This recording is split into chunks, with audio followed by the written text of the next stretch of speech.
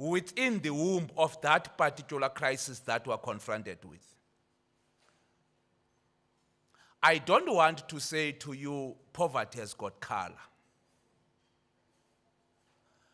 I don't want to say to you, inequality has got color. I don't want to say to you, underdevelopment has got a color. But I would want to say to you, as you engage on this workshop today, you must understand the significance and the importance of this initiative, not just as a gesture of the presidency in bringing only the workforce into the sector, to intervene wherein the, the sector itself has been unable to live to the expectations of the dynamics of the sector itself. Yabona ke xa ufika apha eMpuma Koloni iba ngathi singabantu abanenkenkqe xa sisithi apha eMpuma Koloni whether you approach the post provisioning norm in whatever form and shape you want to you will never stabilize the institutions of learning in this province unless a particular discourse of thinking is being applied. You'll never. Precisely because of the skewed, structured, systemic, and pandemic policies that we have adopted in the country. The one size fits all. So, uzaba nengxaki ke uba uza uza uza uza uzaba generic and not be scientific in approaching certain elements so that you can be able to have some elevations on how to deal with some of these questions. So I'm raising this question not just as just a component of the workforce that we have, but as an element, an intervention on the second economy that is confronting the province. The last time I was looking into the stats program director, we were at 37% unemployed youth in the province. And once you have got 37 unemployed youth in the province, you must understand that that's a ticking bomb. You have got a battalion of energetic people who are being rendered useless by the structured economy that we have. And hence, from time to time, you are required to up the game in terms of strategic thinking and advancement of and consolidation of the people's uh, economy in the province. So, ngelishwa ke, we may not have time to, to, to, to dwell much on how the sector, as a bigger department in the provincial government space, must respond to some of the challenges that are confronted by other sector departments. mhlambi mandingayithethi le nto. Yoba yabona mos thina mboxela? Asirani idipatimenti thina apha. Sirani urhulumente apha because 45% of the budget of this government comes to this house so once this house is not clearer about what must happen in the provincial government space there is a crisis you must understand it today. You may not feel being honored, being taken serious by the society. The sector itself is repositioning itself, bringing back the value that it has then. But I can tell you now, once education in any developing country gets confused, the entire nation is going to be confused.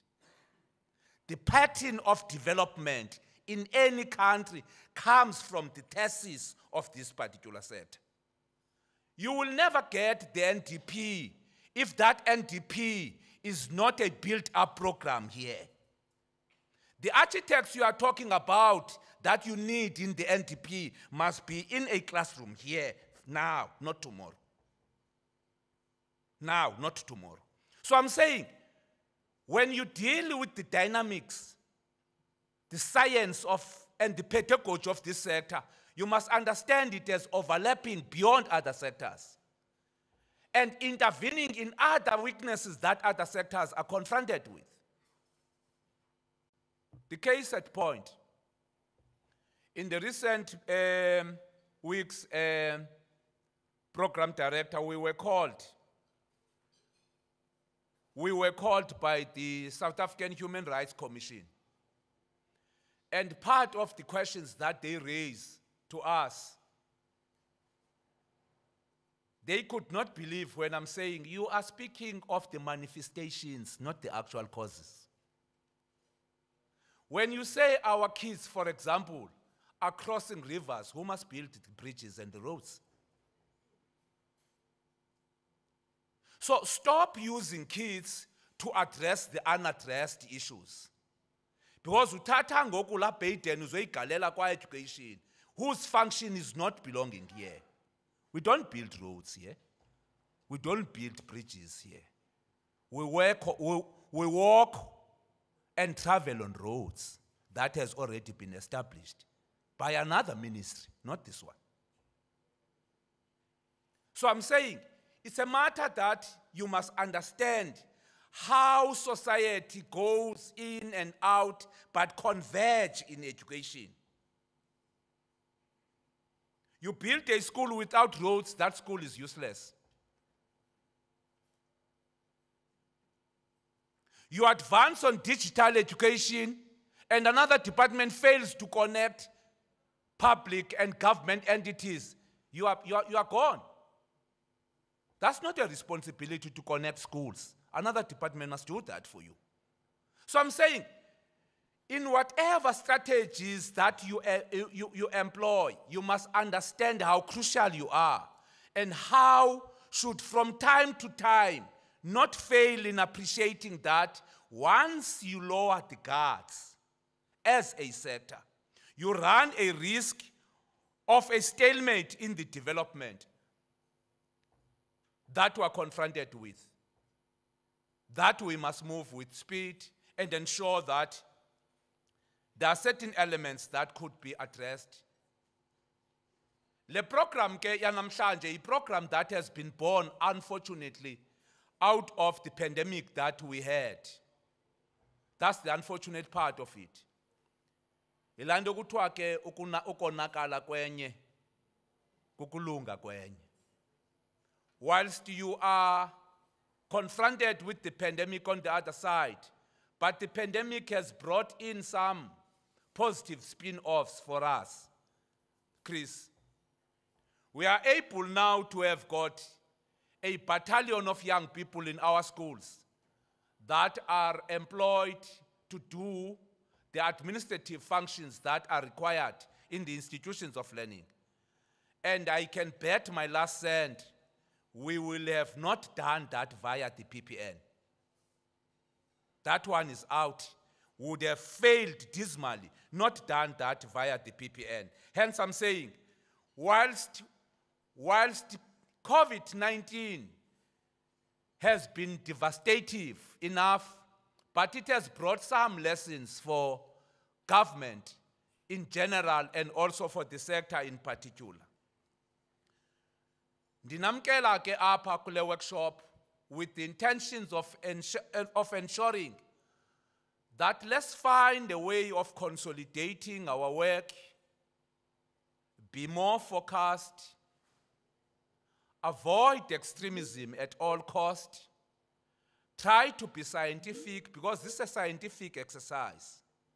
Education is scientific in nature. So avoid to, to be taken away from the, from the trust of what is expected of us we are beginning to be a beacon of hope now in the country in terms of strategic thinking and advancement of the school of thought that is required in the sector in general. Singanazo impazamo esizenzileyo in ensuring that we implement some of the policy directives that are required. But I can assure you The minister was here last month and she confessed that it is only now that we are beginning to learn number of issues that the country has been undermining from the province. And that tells you that we just needed to touch each other's hand, steer the ship, and ensure that nothing that comes in between the basic education in the country and also in provinces, in ensuring that we live to the expectations of those that rely solely on the interventions of government. Ihambo nzima ke thina ke kule yethu isekta kulapho siyibona khona ngamehlo. By by virtue of being an education as a sector because there is no household that does not have a kid that is undergoing basic education. And there is no village in this country that does not have a school. So asizizo thina as department funa kuhambe i-50 kilometers uye ofisini kuzo. Uzuyibona i-department. I-department ilapha ngaphakathi ebantwini. That's why kuba kuba kuba lula ebantwini uba xa bexabana ngazo nantoni nabaxabana ngazo bafuna utshisa. Bafuna because it's the only only department that they relate with on day-to-day basis. That's how serious you are. That's how serious you are. So, bendisithi ke ngaloo mazwi program director, let's treat this initiative quite a bit serious. Understand its impact that it has in the communities that we're leading. Understand the leverage that it has brought into the institutions of learning. Understands the pressure that it has brought into the, so, into, into the socio-economic conditions of our people that we are enrolling as part of the contingents of the workforce that we have. We will forever be indebted in any intervention that government seeks to give in ensuring that at least wonke umuntu unayo into basic yokuphila ubomi. Singabi nabantu abaphila obunye ubomi abanye abantu bephila obunye ubomi in the same in the same country that they belong to. On behalf of the leadership and the management of the sector, we are looking forward to this third phase. We are looking forward into this program that Mongameli has brought to us. We are also looking forward to your good selves that you have steered the ship to be where it is now.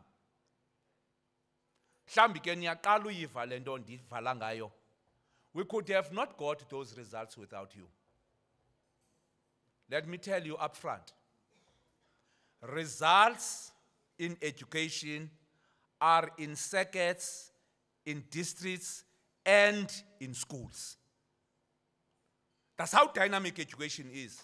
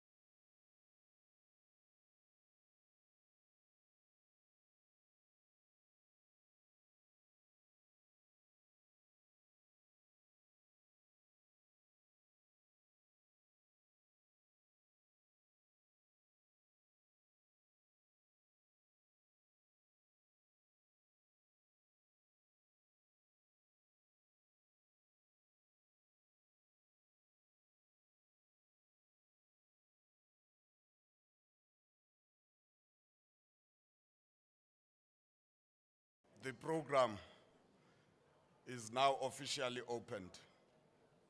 This was just setting the tone by the Honorable MEC. Thank you so much, MEC. This was a mouthful. For the first session of this program, ladies and gentlemen, Mayor Asha, usher Ms. Sislom Vuselelo Fikeni, who will run the program henceforth. May Fikeni come forward, please.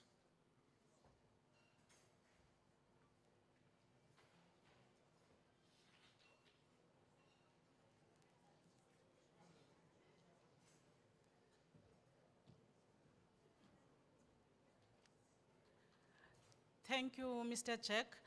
Before I start to facilitate this session, there is a choir that is going to entertain us before. Can I please call the choir to come up front? Thank you.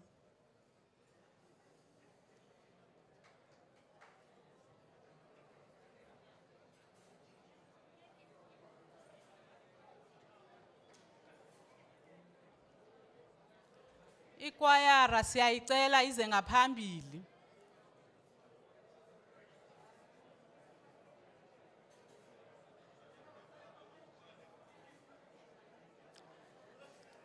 Can the choir come in front, please?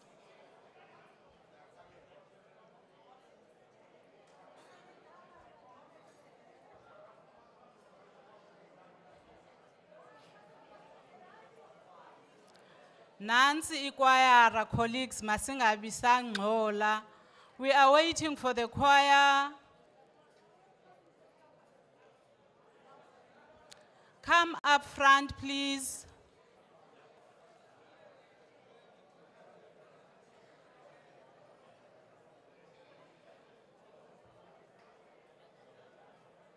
Iseza njalo ikwayara ndizawucela u- umama upepese there's something she dropped it's here with me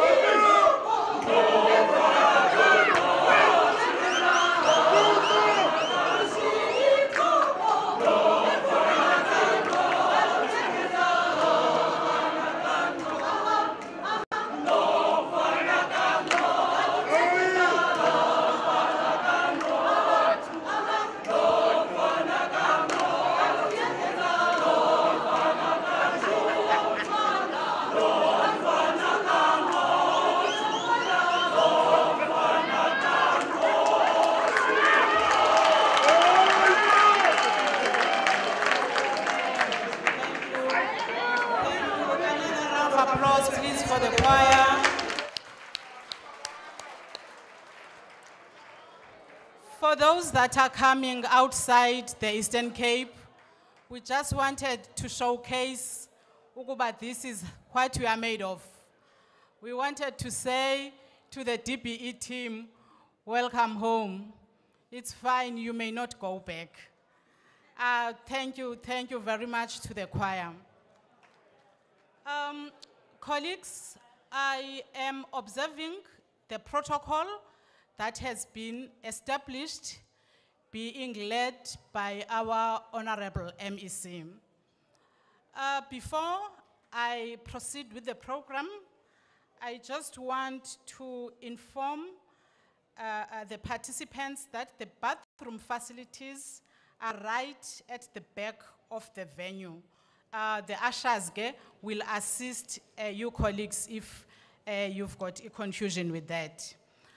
I also want to take this opportunity to acknowledge uh, the participants and the visitors that are with us here today. Um, has welcomed everybody that, but I think it's proper for me to make mention that we are honored ukuba kubekho abantu from the DBE. Ndicela i-team from DBE iphakame siyibone and we can give them a round of applause. You can just stand up where you are, colleagues from DBE. That is not warm enough, colleagues. Eastern Cape. Thank you, that's better, that's better. Uh, colleagues, we've got, um, okay, let me go to the districts before I come back to head office. Ndizawuqala ngapha ezantsi ke. I-team from Alfred Nzo East, uh, I believe u-district director ukhona athi vumbu nje nabantu bakhe sibabone banaba abantu abasuka ngapha embizana. Alfred Nzo East.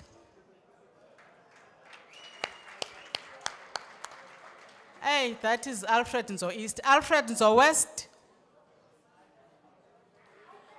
Yeah. That is the team from Alfred Nzo West. Joe Gqabi.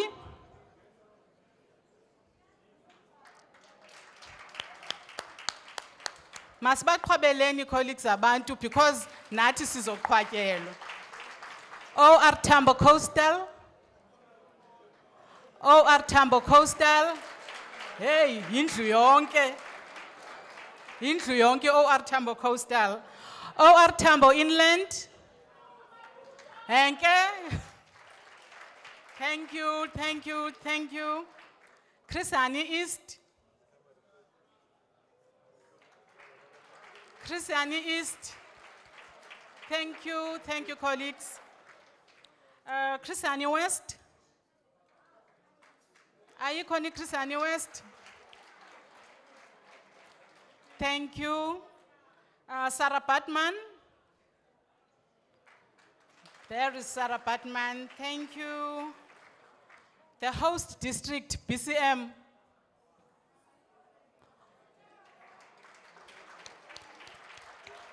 Thank you, BCM. Nelson Mandela. Nelson Mandela. Itheni Nelson Mandela xa ugqiba ukuphakama i-BCM yangabonakali. Amathole East.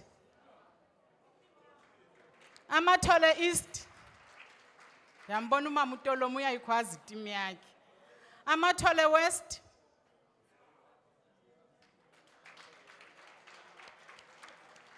Thank you, colleagues. Those are the 12 districts that make up a, province, yes, the Eastern Cape in the Department of Education. Thank you, colleagues, for honoring uh, the invitation. Uh, the team from head office, ningake niphakame i-head office ndiyibone?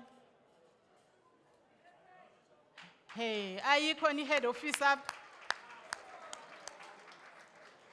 Thank you, colleagues. Colleagues, we've got very important people uh, in our midst, our stakeholders. And izobe ndisithi esi nesi ndicela nje i-stakeholders esisebenzisana nazo in the Department of Education zithi vumbu nje.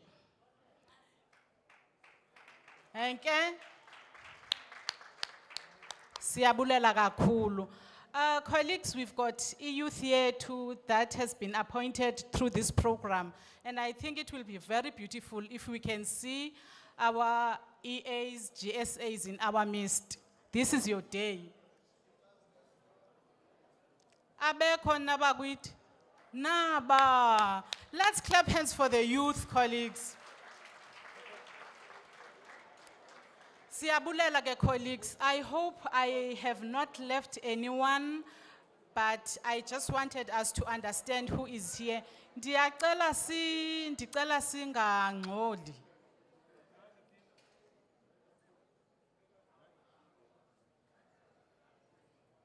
Ndiyacela sithi cwaka. Thank you, colleagues. Colleagues, ke andingotata umphuphu as i-programs zisitsho, uh, kutshiwo uba ndingumama ufikeni and I will be facilitating this session of our workshop. Uh, colleagues, we should know that this, is a hybrid model of a workshop, so there are people that will be connecting to us uh, via Microsoft Teams. And I hope our ICT team is ready to assist us with that. Uh, colleagues, it, is, it has already been alluded uh, during the opening and uh, Mr. Jack, when he was making his opening remarks, that we are here to do a, a- a- review and plan going forward. What is it that we have done good? What have been the challenges? And how are we going to move forward? You will recall, colleagues, that in 2020, uh, ukufika kwe-COVID-19, that's when this program, your presidential initiative started, where we had to appoint 55,000 uh, youth into our schools. And I know you will attest to the fact that it was a very hectic program, appointing 55,000 people over a very short period of time. Uh, i-province of Eastern Cape ke Department of Education, uh, khange ifune ukuyiyeka ingayigrabhi that opportunity, and we did that successfully. Then we moved to phase two, when we had to appoint 40,000 once more. We also did that, and we are moving now to phase three. We are here, again, colleagues, to check what is it that we've done.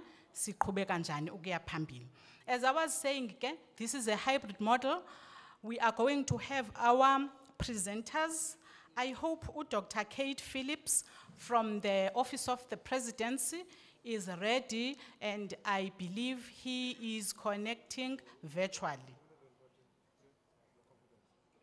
Si- Singathula ke colleagues, I understand that we will be taking notes so that at the end of the session, there will be discussions and some engagements. Thank you. Uh, ICT team, let me hover, uh, hand over to Dr. Phillips.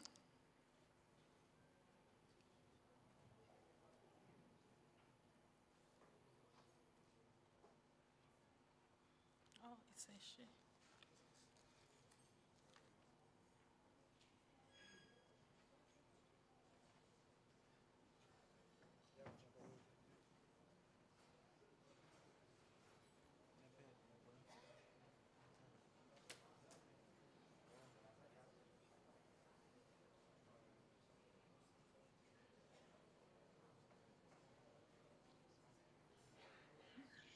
In making this program the success that it has been.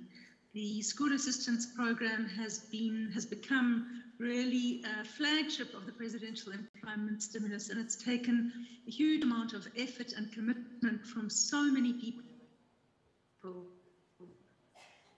uh, across the country, nationally, in the provinces, um, school go- governing bodies, and really want to acknowledge and recognize the hard work that has happened.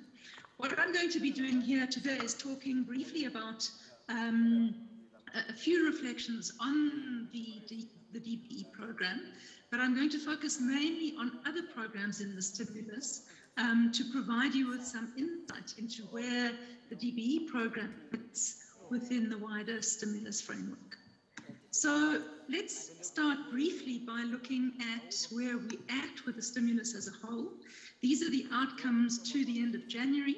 Um, we're still finally collating the February figures. but we have delivered over the two phases of the program over 850,000 jobs and livelihood opportunities as part of the employment stimulus. And this has happened in what I'm sure you all recognize um, has been very time frames for delivery. Uh, the stimulus is broken down into three components. There's a job creation component, which your program is a part of. There's also programs that have supported livelihoods for people whose livelihoods have been disrupted by COVID.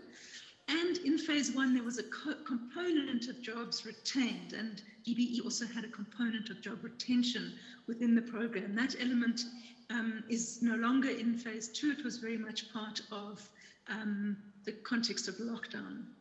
So really, the program has delivered at quite remarkable scale quite quickly.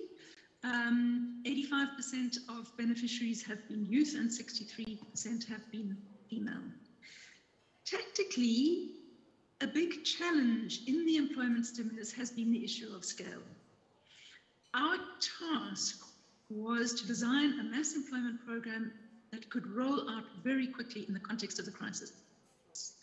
Now, of course, unemployment the crisis of unemployment predated COVID, but COVID certainly exacerbated it. And the issue of achieving scale has been a particular challenge. If you look at the figures here, I mean, DBE is actually off the charts with nearly 600,000 participants over the two phases. Um, the bar charts here don't even begin to reflect the, the differential in the scale of that program compared to other programs. And I think what has been quite sobering is how difficult um, government departments have found it to roll out programs at significant scale. And what we've realized is that this is actually a critical capacity for a capable state, and that we really need to build the institutional architecture um, to deliver scale along with strong qualitative outcomes. Um, and what we have been doing over the, the, the, the phases of this, the stimulus so far is actually trying to design for scale and to develop um, the opportunities to deliver at scale. The criteria for the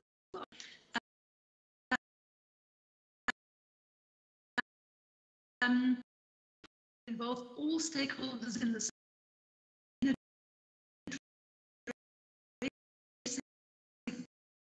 the unemployment challenge.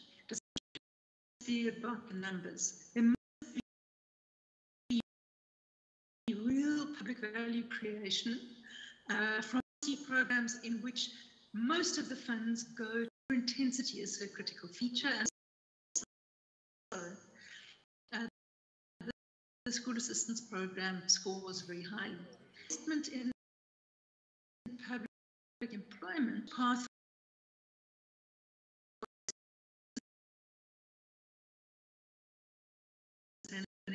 opportunities so that we're augmenting. And the focus in the stimulus has been this is a unique opportunity to test different approaches. What we want to see is additionality and innovation over and above what has been achieved previously through public employment programs. I'm not going to spend long on the PYEI DBE program, but it is an amazing success story. And along with scale has gone, this will increase space equity. Often when we roll out employment programs, this is difficult to achieve. Community has schools. This program is able to reach every corner of the country, and that's been a real success. So has the fact that everyone in the school system has come to the party, and it really matters to us to see that and to see also that the union have also come to the party and supported this program, and that's an important element. Again, what we see in this program is not just scale, not just spatial equity, but also that the quality of work experience has been strong in most instances, and the quality of social impact has also been strong. So you often have a one-to-one -one mentorship relationship with a teacher for participants, which is a really intensive uh, work experience relationship. At the same time, the feedback is that often the participants are really able to support teachers, and that in turn is supporting learning. It's creating and strengthening um, the learning environment. All of these are important dimensions of the program. When we look at the employment stimulus, we also really want to highlight to the audience here the importance of stories, the importance of conveying more than just the numbers and conveying the social impact of what is happening. And the question to you is how are you telling your stories of this program? If you go to our website, you'll see a number of beneficiary profiles, and these are just some of them. I'm going to highlight ones that are not from your program. So we have Wandile Monabati, um, who's the co-founder and executive producer at Carlstove Pictures, who says that COVID-19 was devastating. His company had to close down. He was a sole breadwinner. It was very difficult times. But through a stimulus to the creative sector, he got a grant. He was able to open up once more, and in fact, used the stimulus to produce the movie Rocket Boy, which is about a young African scientist. Then we have the Water Research Council through DSI, Department of Science and Innovation, who placed Benoit Peter in a research and development company specializing in water efficiency. She emphasizes the multifaceted nature of her job. She says, I've been involved in project planning phase, including site surveys, compiling bills of materials and bills of quantities, sourcing and acquiring materials, and improving project reporting. This is meaningful work experience that she sees as supporting her goal of starting uh, her own business is um, we need to tell the personal stories. We need to convey the impacts of these programs in order to motivate their significance as part of our policy mix, and particularly if we want to see them extended. So I'm putting that challenge to you also. And we want to look at different dimensions of impact because these programs are multifaceted. So there are impacts on participants, are impacts on the learners, on the school system, on teachers and principals, and impacts on the local also. So important as the relief element of these programs are in providing incomes into poor households, it goes further than that because the incomes earned are then spent in every local economy in the country, mostly in townships and rural economies critical input in supporting the recovery and growth and also the informal sector, which was hard hit by the pandemic. And this spending trickles up into the wider economy from there. So if somebody's buying a mini meal from a local spaza shop, they are supporting that spaza shop. But that purchase goes all the way up value chains into the core economy and supports uh, jobs in the core economy as well.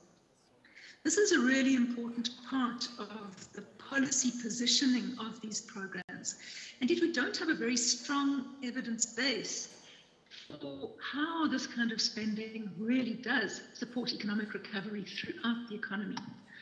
And that's why we're doing uh, research into this dimension. And one of the components of, of this research is uh, the Financial Diaries Initiative, which is in partnership with yourselves and is looking at the income impact on participants, requesting them to fill in a financial diary on how they spend and where they spend as part of building evidence base for showing that this kind of intervention uh, doesn't just affect direct participants, participants, it's actually trickling up into the entire economy and supporting jobs through this mechanism as well.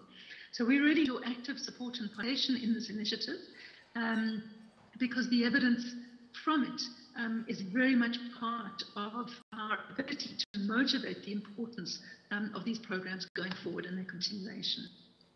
Now, these jobs are short term. They are not sustainable jobs. Obviously, plan A is that the economy grows and creates sustainable jobs. But in a context of crisis like the present, these short term jobs um, provide a really important role. But because they're short term, it does mean we have to focus on exit strategies. Um, so even if the duration of the current placements is extended, these are still not permanent posts. They also shouldn't ever be seen as a substitute for those. That would not be a good outcome. So we need to use this opportunity to optimize participants' pathways into other opportunities, whether those opportunities are in the education system um, or beyond it. We know that DBE is playing a key role in thinking about this. It's not just DBE's responsibility. We need to involve the wider education sector, the private sector, and the wider system in taking on their pathways. And this is also where the involvement of SA Youth becomes critical and has played a crucial role supporting the early stages of the pathway management work in the SA Youth platform, with hundreds of thousands of young people signing up on the because DBE has routed through this mechanism. But I think it's important for you all to understand that the role of SA Youth is key not only in the recruitment but actually also in supporting people's pathways beyond the program when they exit. And that is when we're really going to see some of the value of having used SA Youth because they are then able to support and handhold and channel youth towards other opportunities. I think it's also important to note that SA Youth has also been supporting unsuccessful applicants. So yes, we have a cohort of people who've been successful and are being uh, and are earning through, the, through, through this program. But we also know that many young people did not get those opportunities. SA platform supporting them to other learning and earning opportunities. What I want to focus on now is some of the other programs in the stimulus to give you a taste of other challenges that are being experienced. So I'll focus on accounts. Particularly excited about is the Social Employment Fund. This has been launched as part of the social and solidarity economy uh, within the DTIC, with Industrial Development Corporation as fund manager. It's, it is supporting the non-state sector to create 15 jobs, undertaking part-time work defined as work for the common good. What is meant by that? Why are these jobs part-time? A feature of this program is that the jobs are ongoing, so um, funding permitting. Um, the jobs last in phase three, they're going to last for at least a full year. Um, providing regular and predictable income to people. And what researchers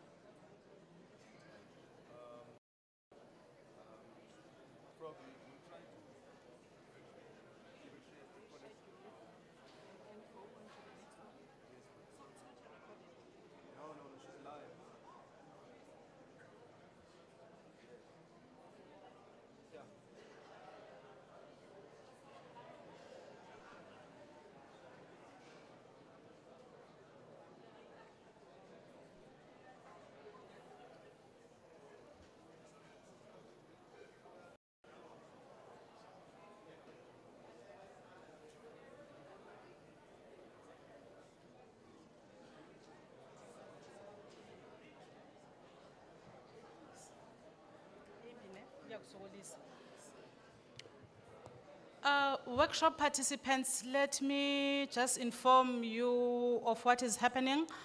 Um, I, I think ngoku i-COVID kufuneka iphele because the network idiniwe. that in some contexts, um, and you know, if, if, if full-time employment in the economy is, is, is, is not on the table, is not an option, but there are real advantages to people getting a regular and predictable income for a longer period of time. That that assists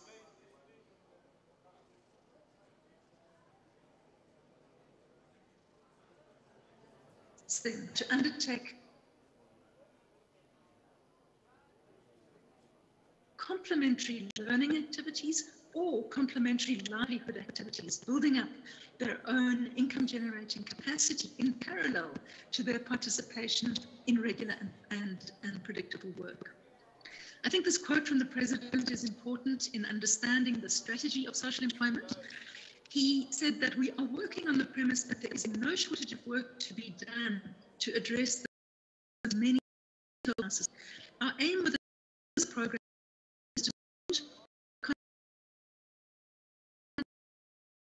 considerable creative that exist in a wider society to engage people that serves the common good. What do we mean as the common good? Really, it's a wide spectrum of issues. But the point is that really we want communities to play a critical role in defining what this means and what they see as the common good. But the kinds of programs that are being supported are things like placemaking, converting, uh, converting unused public spaces into safe spaces, community security and nutrition, art, drama and sport, community and public art, informal settlement upgrading. So just some examples of the kinds of things that are included in the definition of work for the common good. Now, I mentioned earlier our challenge in designing for scale and achieving scale. We are particularly excited that we have just completed the first call for proposals for the Social Employment Fund. And this is an experimental program, so we have had to prove the concept. And so it started at a target scale of 50,000 participants. But what has been amazing is that in that first call for proposals, the value of applications that met the minimum qualifying criteria for the fund, uh, which were a value of over 1 billion, um, which could have uh, 300,000 part-time jobs for a year. So this program has already demonstrated a proof of concept for going to scale in a new way, um, partnering with the non-state sector to deliver jobs at scale that are initiated and run in communities and in partnership with non-state actors. Its current status is that, in fact, the final contracting is happening this very week, and we will be in a position to announce um, who has been successful uh, from the non-state sector and what the composition of those 50,000 jobs will be. But I think this is an important example of how over the course of the years, we have been building this institutional architecture to go to greater scale. Um, so that's an important program. I think many of you are also familiar with the, the Presidential Youth Employment Intervention Programs. The PYEI is a specific unit within, within the PMO and the presidency that has its own particular programs. Its flagship program is the Pathway Management Network, um, and you will be hearing more about that from Lerato later today, I believe. So I won't go into detail on that, but rather highlight what the agriculture sector has been doing. So DALRRD has been issuing production input vouchers for subsistence farmers. Over 100,000 vouchers have been issued, uh, 67,000 vouchers. And what has been exciting about this program is that of the short time frames involved, DALRRD was forced, in a way, to, uh, to innovate technologically to get the word out. And they used a USSD platform on mobile phones, including feature phones that are not smartphones, so that subsistence farmers could apply for the production input vouchers using their phones. There was a lot of anxiety initially that this would not be accessible to subsistence farmers. Um, but in fact, quite the reverse proved to be the case. 178,000 subsistence farmers applied on the platform, um, giving DALRRD a spatially referenced um, uh, uh, uh, database, um, a, a, geolocated da database of subsistence farmers for the very first time. This is a huge resource now for ongoing support to subsistence farmers to help them build pathways out of poverty with a lot of data associated with the database in terms of the kinds of production that people are engaged in. They have faced same problems with suppliers. They actually suspend program because they found that suppliers from the private sector were abusing this program and taking big tax. So not for them. Has had a lot of, um, and uh, this is also strengthened relationships with private sector and with quality control over the kind of support that has been provided. So we've seen huge support going to subsistence farmers um, through this process. Another of the new programs in two is innovation in public employment in the metros. This is through the Neighbourhood Development Partnership Program in Treasury, and all metros had to bid with proposals for innovative proposals for high quality public employment. And we've had some fantastic proposals come in and be approved um, and are now in implementation from 1st of February. These include things like support to homeless people through public employment, where homeless people are being offered the opportunity to participate in public employment in this instance. Apologies to the workshop participants. Uh, These presentations have been pre-recorded, but it is clear that there is a network challenge within the venue. Uh, We apologize for that, but we will make the presentations available to all the participants uh, electronically. If you had listened to it before the, the, the, the network uh, was worse, you could see that is a very important information for us to have just as citizens of this country. Uh, thank you very much. Uh, be that as it may, colleagues, let us give a round of applause to Dr. Phillips. Otherwise, a presentation will be sent to us all. And we will quickly, get, colleagues, I am hoping and praying that we get a clearer version of the presentation now. We will move on to Dr. Mabohwana. Dr. Mabohwana is going to be talking to e monitoring and evaluation and the roles of all the layers that were actively involved in the presidential initiative, starting from the DBE, provincial departments, uh, district, up to the circuit. Colleagues, ndiyacela man, for us to honor lento size. Nokuba kukho umuntu ume apha nga- nga- ngaphambili. Sithi cwaka nje siphulaphule we, take notes ukuze sazi uba esizothini apha. Please ndi- ndi- ndiyanibongoza. Uh, ict team please let us get the next presentation.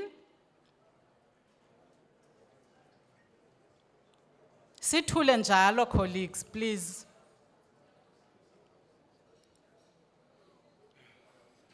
Ndiyacela bandla.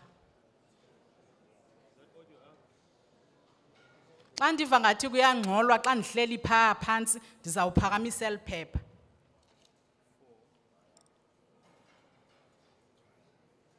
Are you winning colleagues?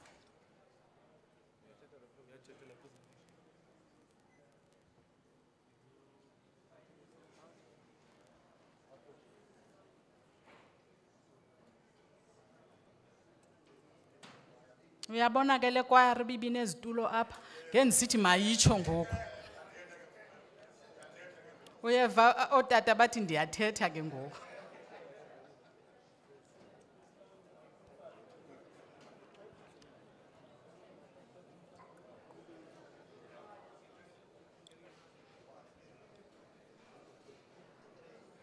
Siyazama colleagues.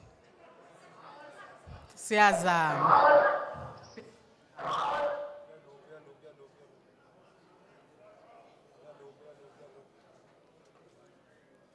a dashboard and a little bit more around uh, the, the map approach that we are advocating.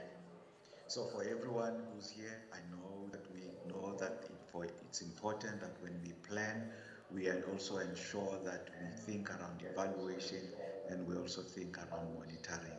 And this creates a virtuous cycle that if these three things work together, we are able to see programs being implemented, but we are also able to see the uh, programs being able to uh, remove all the obstacles that they, they may be uh, uh, uh, encountering. So this is we call the results-based monitoring, which is just providing continuous process of collecting and analyzing information to compare how well a project also to achieve the results and the outcomes that we are interested in. And that is a continuous thing. You don't plan once and then and stop planning. You don't evaluate once and stop evaluating. And you don't monitor once and then stop monitoring. monitoring. So it's not an event, but it's a continuous process that we get involved in. And this is what ensures that projects and programs get implemented successfully. Uh, why do we do monitoring? We do monitoring for three reasons. One, we want to account for public funds against the agreed targets. Money has been entrusted. Uh, uh, we need to be able to deliver, and therefore we need to achieve targets that we have set for ourselves. Similarly, uh, uh, in addition, monitoring is not just punishment or finding fault, but it is formative in, in nature to enable us to solve problems that are preventing service delivery or that are preventing programs from being implemented the way they're supposed to be implemented. So it is also solution generation process. We monitor to be able to solve problems so that we can find solutions for those problems. And then third, to enable development uh, in, in, in, in a way that uh, we work together as communities of practice, uh, sharing and reflecting on how we succeeded, how we unblocked where there are blockages by sharing and reflecting on, on, on, on programs that we are dealing with. Then uh, every time when we monitor, there are things that we always continuously have to keep mind uh, uh, uh and think about them. So we need to say, are the planned activities being done? I mean, most of the time we, we plan things and then uh, we leave them at the planning stage. But monitoring will ask a question, have we planned, is it being carried out? And then uh, are things being done right? It's not enough just to do things, but are they being the correct way? And there we want to always emphasize uh, three things effectiveness, efficiency, and client satisfaction. While we need an effective way of achieving the outcomes, yeah, especially now with the, the budget constraints that we are operating uh, uh under, we need to be able to stretch the ranks much and be able to achieve a lot with little. Being effective becomes now an important thing. So always asking when entering, are we doing things in an effective way? And we, is this the best method? Is it in an efficient way? And then lastly, the people who are involved, are they satisfied uh, with the program and the way it is being implemented? And then this requires us to be uh, uh, people who are continuous because we want to always find alternatives. We always want to find, we also want to uh, uh, learn lessons that we can apply in new programs and other programs or in a, a locality where this program is being uh, implemented to ensure that it becomes effective, it becomes efficient, and it's able to achieve the outcomes that we are interested in. So, saying that with monitoring, we must move away from just only monitoring inputs, activities, and outputs. We want to say now focus also on outcomes, and these are uh, this is a, a, a, the, what we are not necessarily used to. We are used to with using our APPs, uh, focusing on outputs, activities, and inputs. But we are saying now we also need to think of the outcomes and the impacts that we are heavy on this uh, by implementing these programs. So this means when you plan, you got to make sure that we are using appropriate tools for planning, and without the the, the, the plans that we have have are designed uh, effectively and that we need to ensure that uh, uh, correctly for the resources that That means we need to know the limitation and we need uh, to, uh, to know how far we can go and uh, to, to in, in terms of our implementation of the plans that we have. Similarly, we need to also be thinking that when you end uh, these plans, we need to think on how we are going to be monitoring it. Not only monitoring uh, are being done, but performance. How are we performing? Are we operating at the uh, at the high level, optimum level, or we are uh, uh, operating below the optimum uh, uh, level? And that means then we review, refine, and our programs and and the plans that programs and the plans improve them. And then we also then need to ensure that uh, evaluate. And evaluation goes be, uh, beyond just evaluating at impact. You must evaluate at, at design stage, evaluate at uh, implementation state, also then at impact. And this is important because it's the information that you generate through this that are able to make recommendations for improvement and we are able to make a, a, a recommendation that a decision maker can be able to use uh, uh, to correct that we are following and be able to say and can better our our um, our projects and this is important that decision makers are not only people at the, but they are also people at the at at at, at, at cold phase, people who need to uh, uh, continuously improve the programs. They cannot improve the implementation if the information that is being gathered is not uh, effective, is not of quality, and is not informative. Uh, we need to ensure that decisions that we make are informed. It's not just only gut feeling that we rely on. And we also then continue then to diagnose how we implement our program, whether the situations are changing, need course correction, and there are, what are the problems that we need to deal with to unblock blockages that are there, are there and then and, and then ensure that intervention uh, are able to accelerate and implement the programs that we have. Service delivery improves and the developmental agenda of having this project are actually being achieved. This is important also that we also remember that monitoring happens at two levels. One at ground level where things are getting done, but then also we uh, uh, uh, uh, monitoring is relevant also for policymakers and decision makers and planners. And this is important to ensure that decisions and choices and course corrections is done based on best available information so that we ensure that there is always an alignment between what we've planned and the budgets that are available and that we are able then to also leverage the partnerships that we need to have.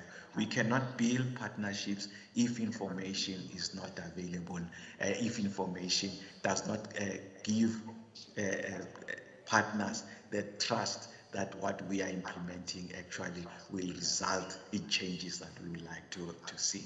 So then uh, with information that comes that's generated through monitoring we are able to improve planning and performance and then we also ensure that citizens are able to understand what are we really implementing and what changes it is having on, on, on society so the presidential employment stimulus program uh, uh, is important because it does not only just give money, it tries to change people's lives and the way they view themselves. Work on its own has an impact uh, on people's lives. And uh, uh, so it's not just that they have money, but we are saying by working, it changes their it changes their lives because it provides structure to their lives it increases access to networks that they would not have, networks with other people, networks with uh, uh, new ways of doing things, and people who are able to provide information and skills that they would not know about. And then it, it improves their capabilities and it provides information that sometimes if they're being at home they would not be aware of and it provides a respect uh, from the community for because of the work that they are doing, and it provides also sense of agency on the on the participants. And this is because we are trying to create a, social economic value. That is why we, uh, uh, this uh, presidential employment stimulus program is, is trying to do. We're providing money, but we are also saying there is an economic value that is being uh, uh, generated by participating in, in this. We create livelihoods, it provides social enterprise, and it provides pathways out of poverty, pathways into greater things for the participants. It unlocks uh, new forms of a uh, community agency and initiative cities.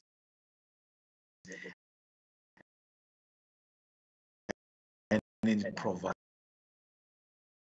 an outlet that are faced by this. So here we also have example of the you go to the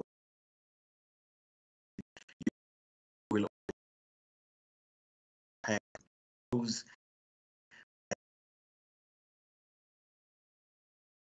uh,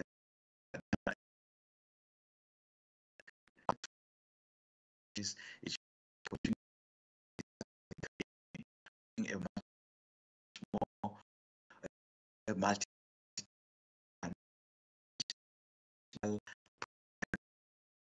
and we we therefore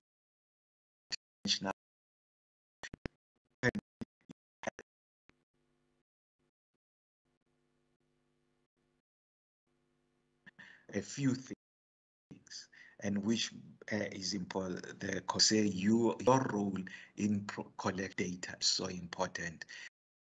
Uh, you, you, should uh, we should all take it as in terms of the quality of data that we collect and that with this data is always collected online and data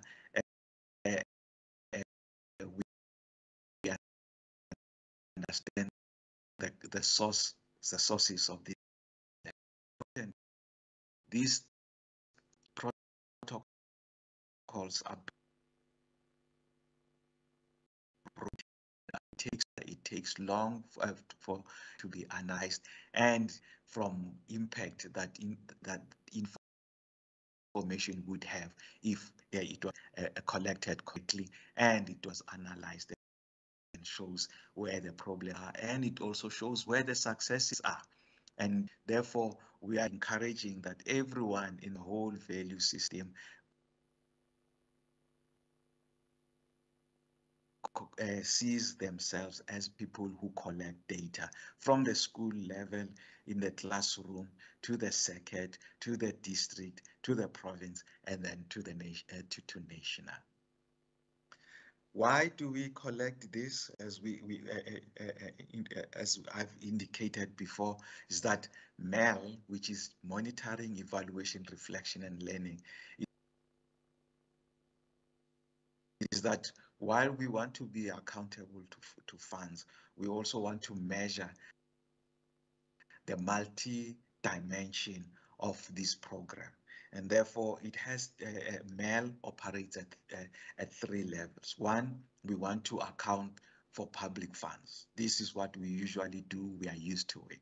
But in, in addition, we, as I've indicated before, it provides development and uh, uh, it uses monitoring and evaluation to develop not only the program itself, but also us as officials in terms of thinking about so and the challenges that that, that are there. It provides also information for us to say using evidence based to reflect on what we are doing, that we are not just ticking boxes, but we are thinking about how to solve problems, how to deal with challenges that we are faced with. And then, as I say, it allows, uh, um, uh, uh, uh it strengthens the outcomes that we are developing uh, uh, so that we, we, we are thinking every time how do we improve the outcomes of the of the program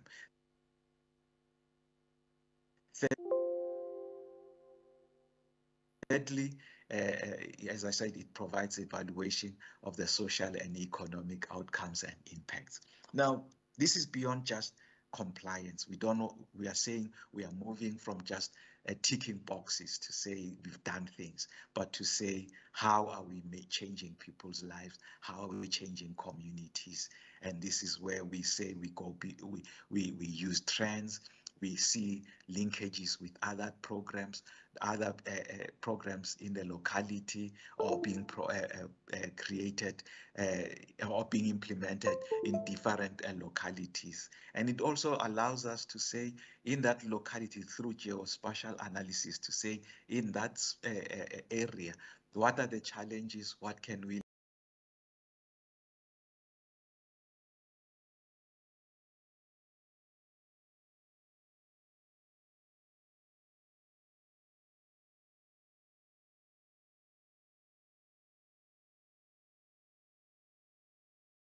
and how, what are the solutions we are providing. And you solve problems, you learn, you adapt, and then you ultimately have an impact in society. And MEL also is able to, uh, uh, this approach is able to uh, monitor and, and, and capture the multi-dimensional effects of this program because this program is multi-dimensional in the way uh, it's the, uh, uh, it affects people's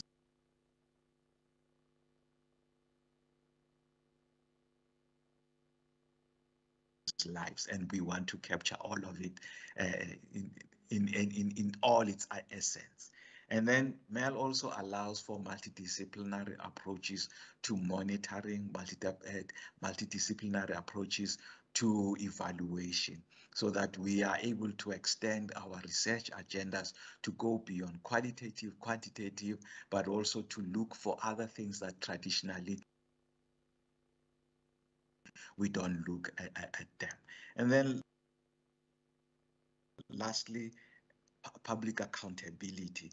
It enables public engagement to say things are not only happening on the public, but the public is able to also provide uh, inputs, but not only provide inputs, but also to say, to indicate where things are not happening and provide a critique that is important to ensure that we continuously improve the performance of the program.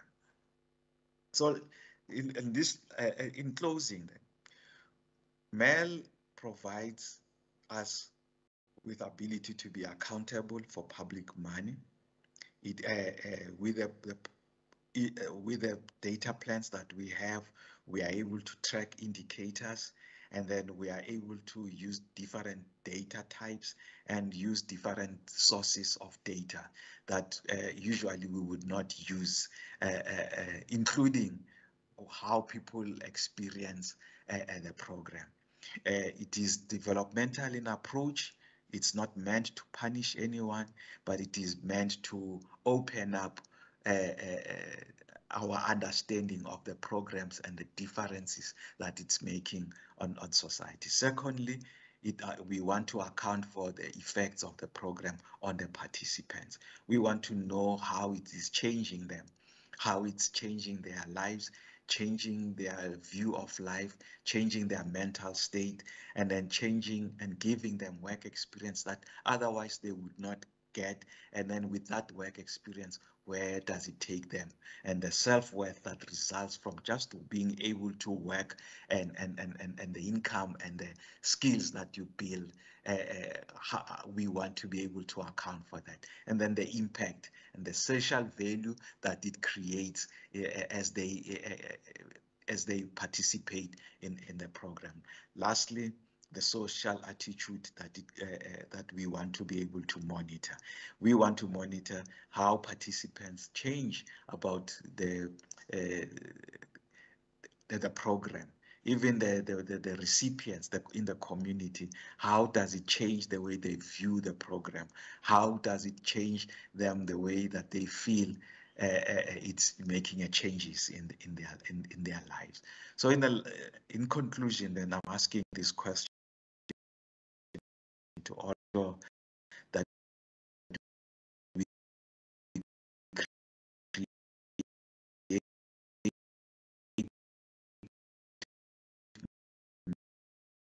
many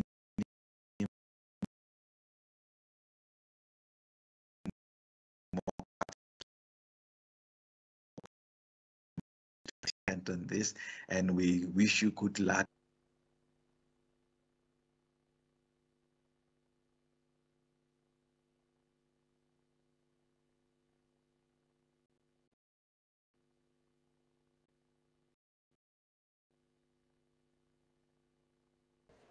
Good morning. A round of applause once more, colleagues. Please, colleagues, let us just clap hands for the previous speaker.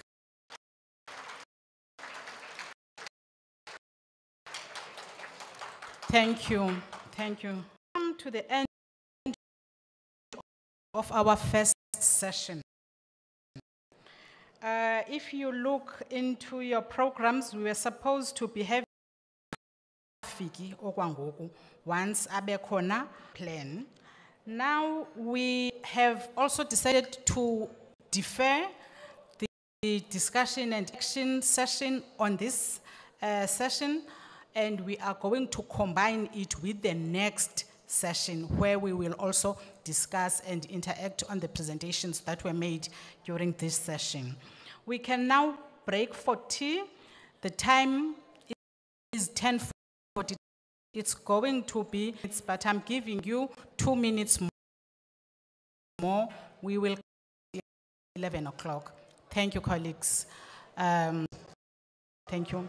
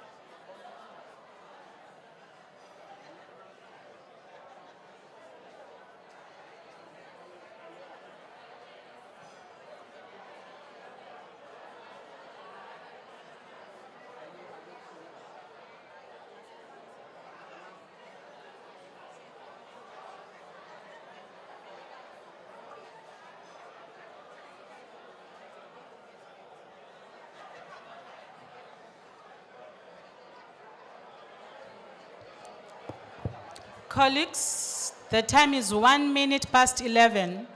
Can we please settle? Can we please settle, colleagues?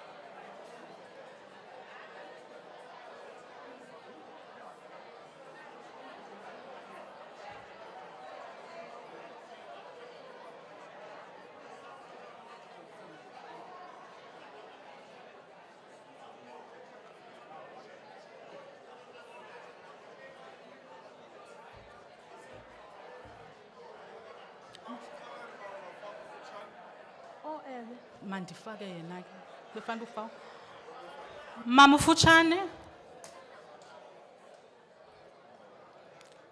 Can we be settled, colleagues?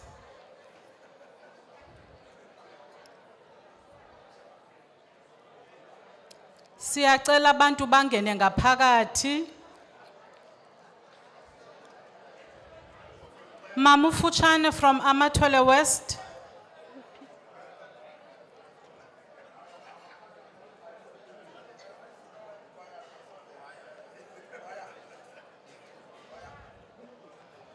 Ezinkonzweni ke kuye kuculwe elixesha. Nanku umama ufutshane esiza ngaphambili.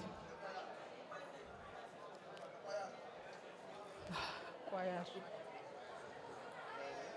zomnika nantsi ndizomnika iprogram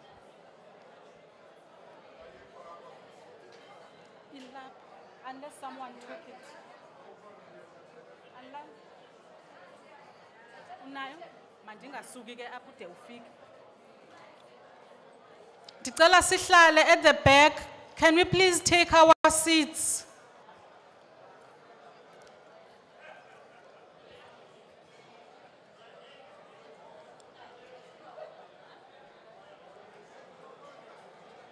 Thank you.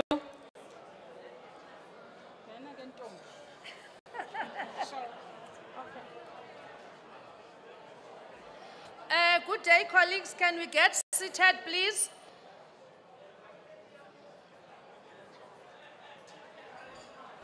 Can we all get seated, please?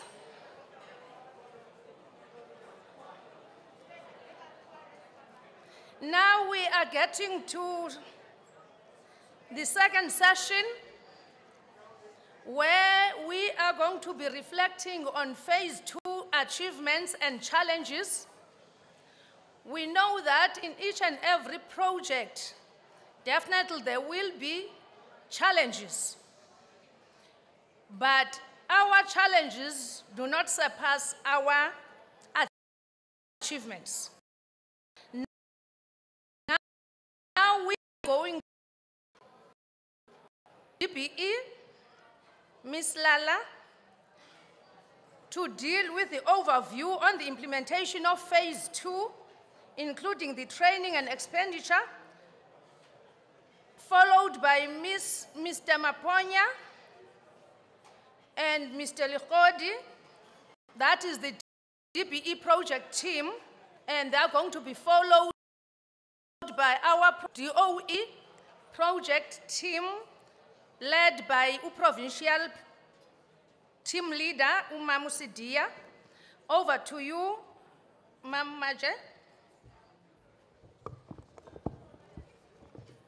Asombeli ke xa simwakha. Thank you so much.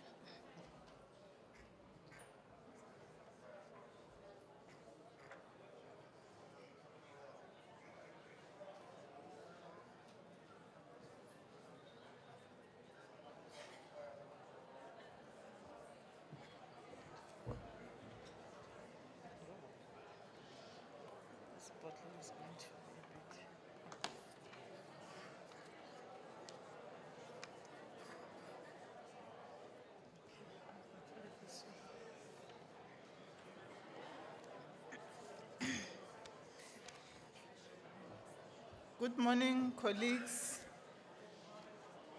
Good morning, colleagues in the Eastern Cape. Uh, colleagues, we are very happy to be amongst yourselves, uh, those that have achieved in this um, noble project. I want to request what Kate have requested and uh, our technology did us um, something. Colleagues, I'm requesting that we clap for ourselves. We give ourselves a big round of applause just for the achievement that we have made, that we have, um, that we have achieved in terms of this initiative in the province. Colleagues, we know that this project is one of a kind, one that helps government to address three fundamental challenges. Uh, we know that we are dealing with inequality, we are dealing with issues of poverty, and colleagues, we are trying to ensure that with this initiative, we are able to address uh, those. We are able to employ um, young people who are living with disability through this. if- So we are redressing past imbalances uh, using this initiative. Colleagues, um, as we are presenting today, um, the first part, I just want to talk to tips of the project, some context to where we come from. And then I will hand over to my two other colleagues to present in terms of what we have achieved in the numbers we have placed and also with regard to training, since this project is mainly to capacitate our youth so that when they go out, out of our schools, they are able to fend for themselves and stand on their own feet. Um, colleagues, when we go into um, the context, we, I just want to um, mention that I just want to mention that the initiative is placed at national, but we are seeing that it's not the only national project that is implemented to address unemployment. We are also seeing other programs such as EPW. We are seeing those that are working with infrastructure.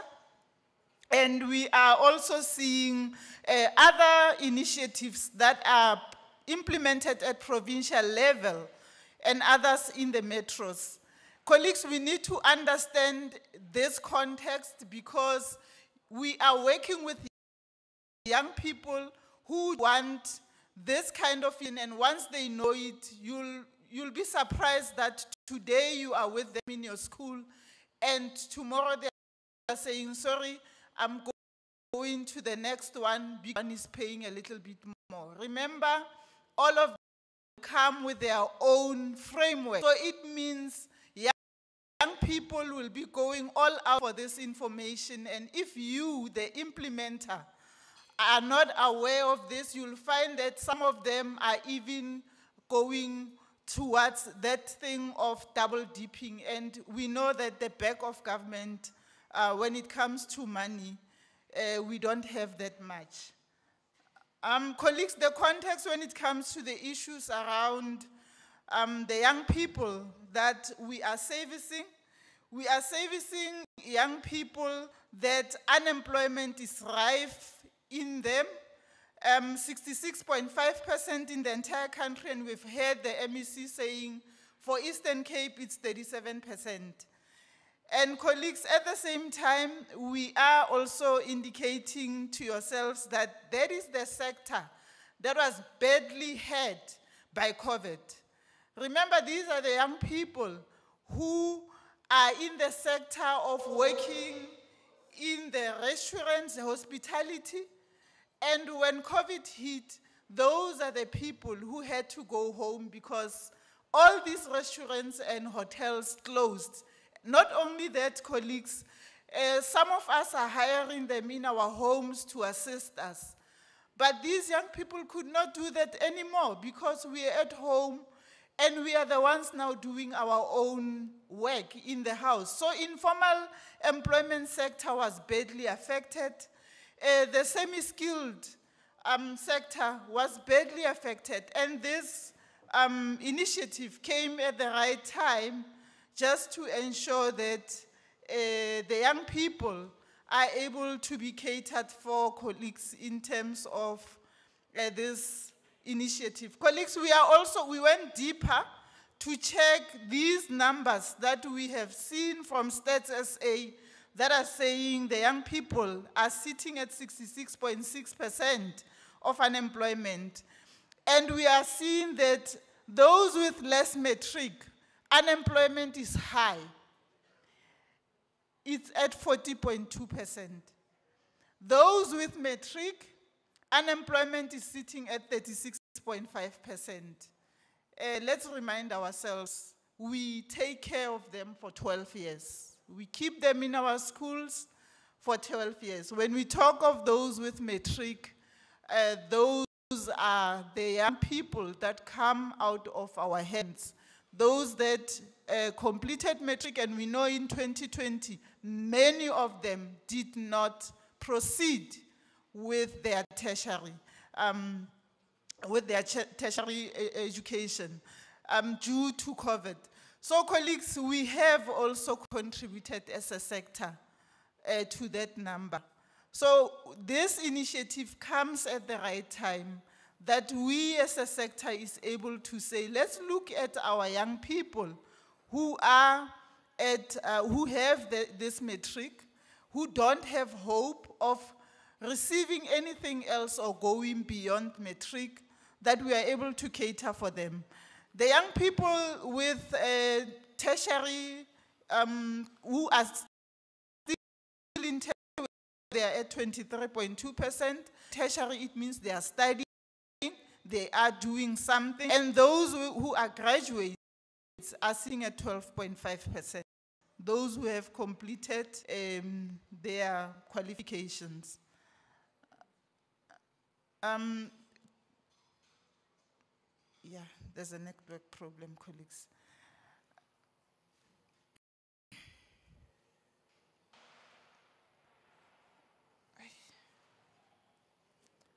Apologies about this.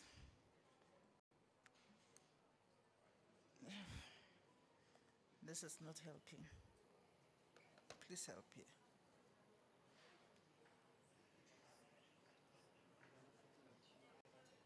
Hmm? Okay, colleagues, whilst we are still waiting for connectivity, because we are now cut, uh, we have also gone out to look at, we have also gone out to look at um, what we are servicing to say that um, when we implement this initiative, look into um, being efficient by implementing using ICT. So remember when we came, we said we want to use um, SA Youth Mobi because we had only one week to appoint them and place them in our schools. The world said, no, you will never make it. The country said, no, you are not going to make it. Um, many of our provinces were saying we are rural, we will be unable to implement. The states are saying to us that almost every one of us have all these, uh, have Facebook, have WhatsApp, have Instagram. The young people that we are servicing are on these platforms. So when we implement trying to bring that efficiency uh, by integrating ICT in the implementation, that is why we managed to find that we are able to um, roll out this initiative with such a speed of lightning. If you can remember that um, in October um, 2020, when we were eating, uh, we started informing provinces in October that we want to put the young people in our schools on the first of December.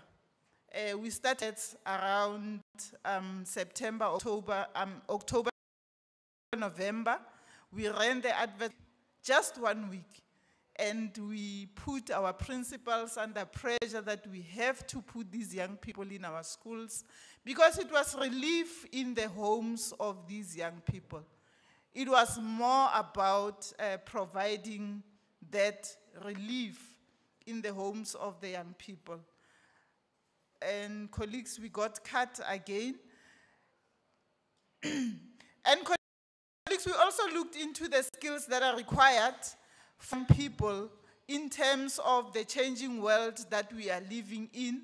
We are looking at the skills that are linked to ICT, that are linked to agility, that are linked to inno innovation.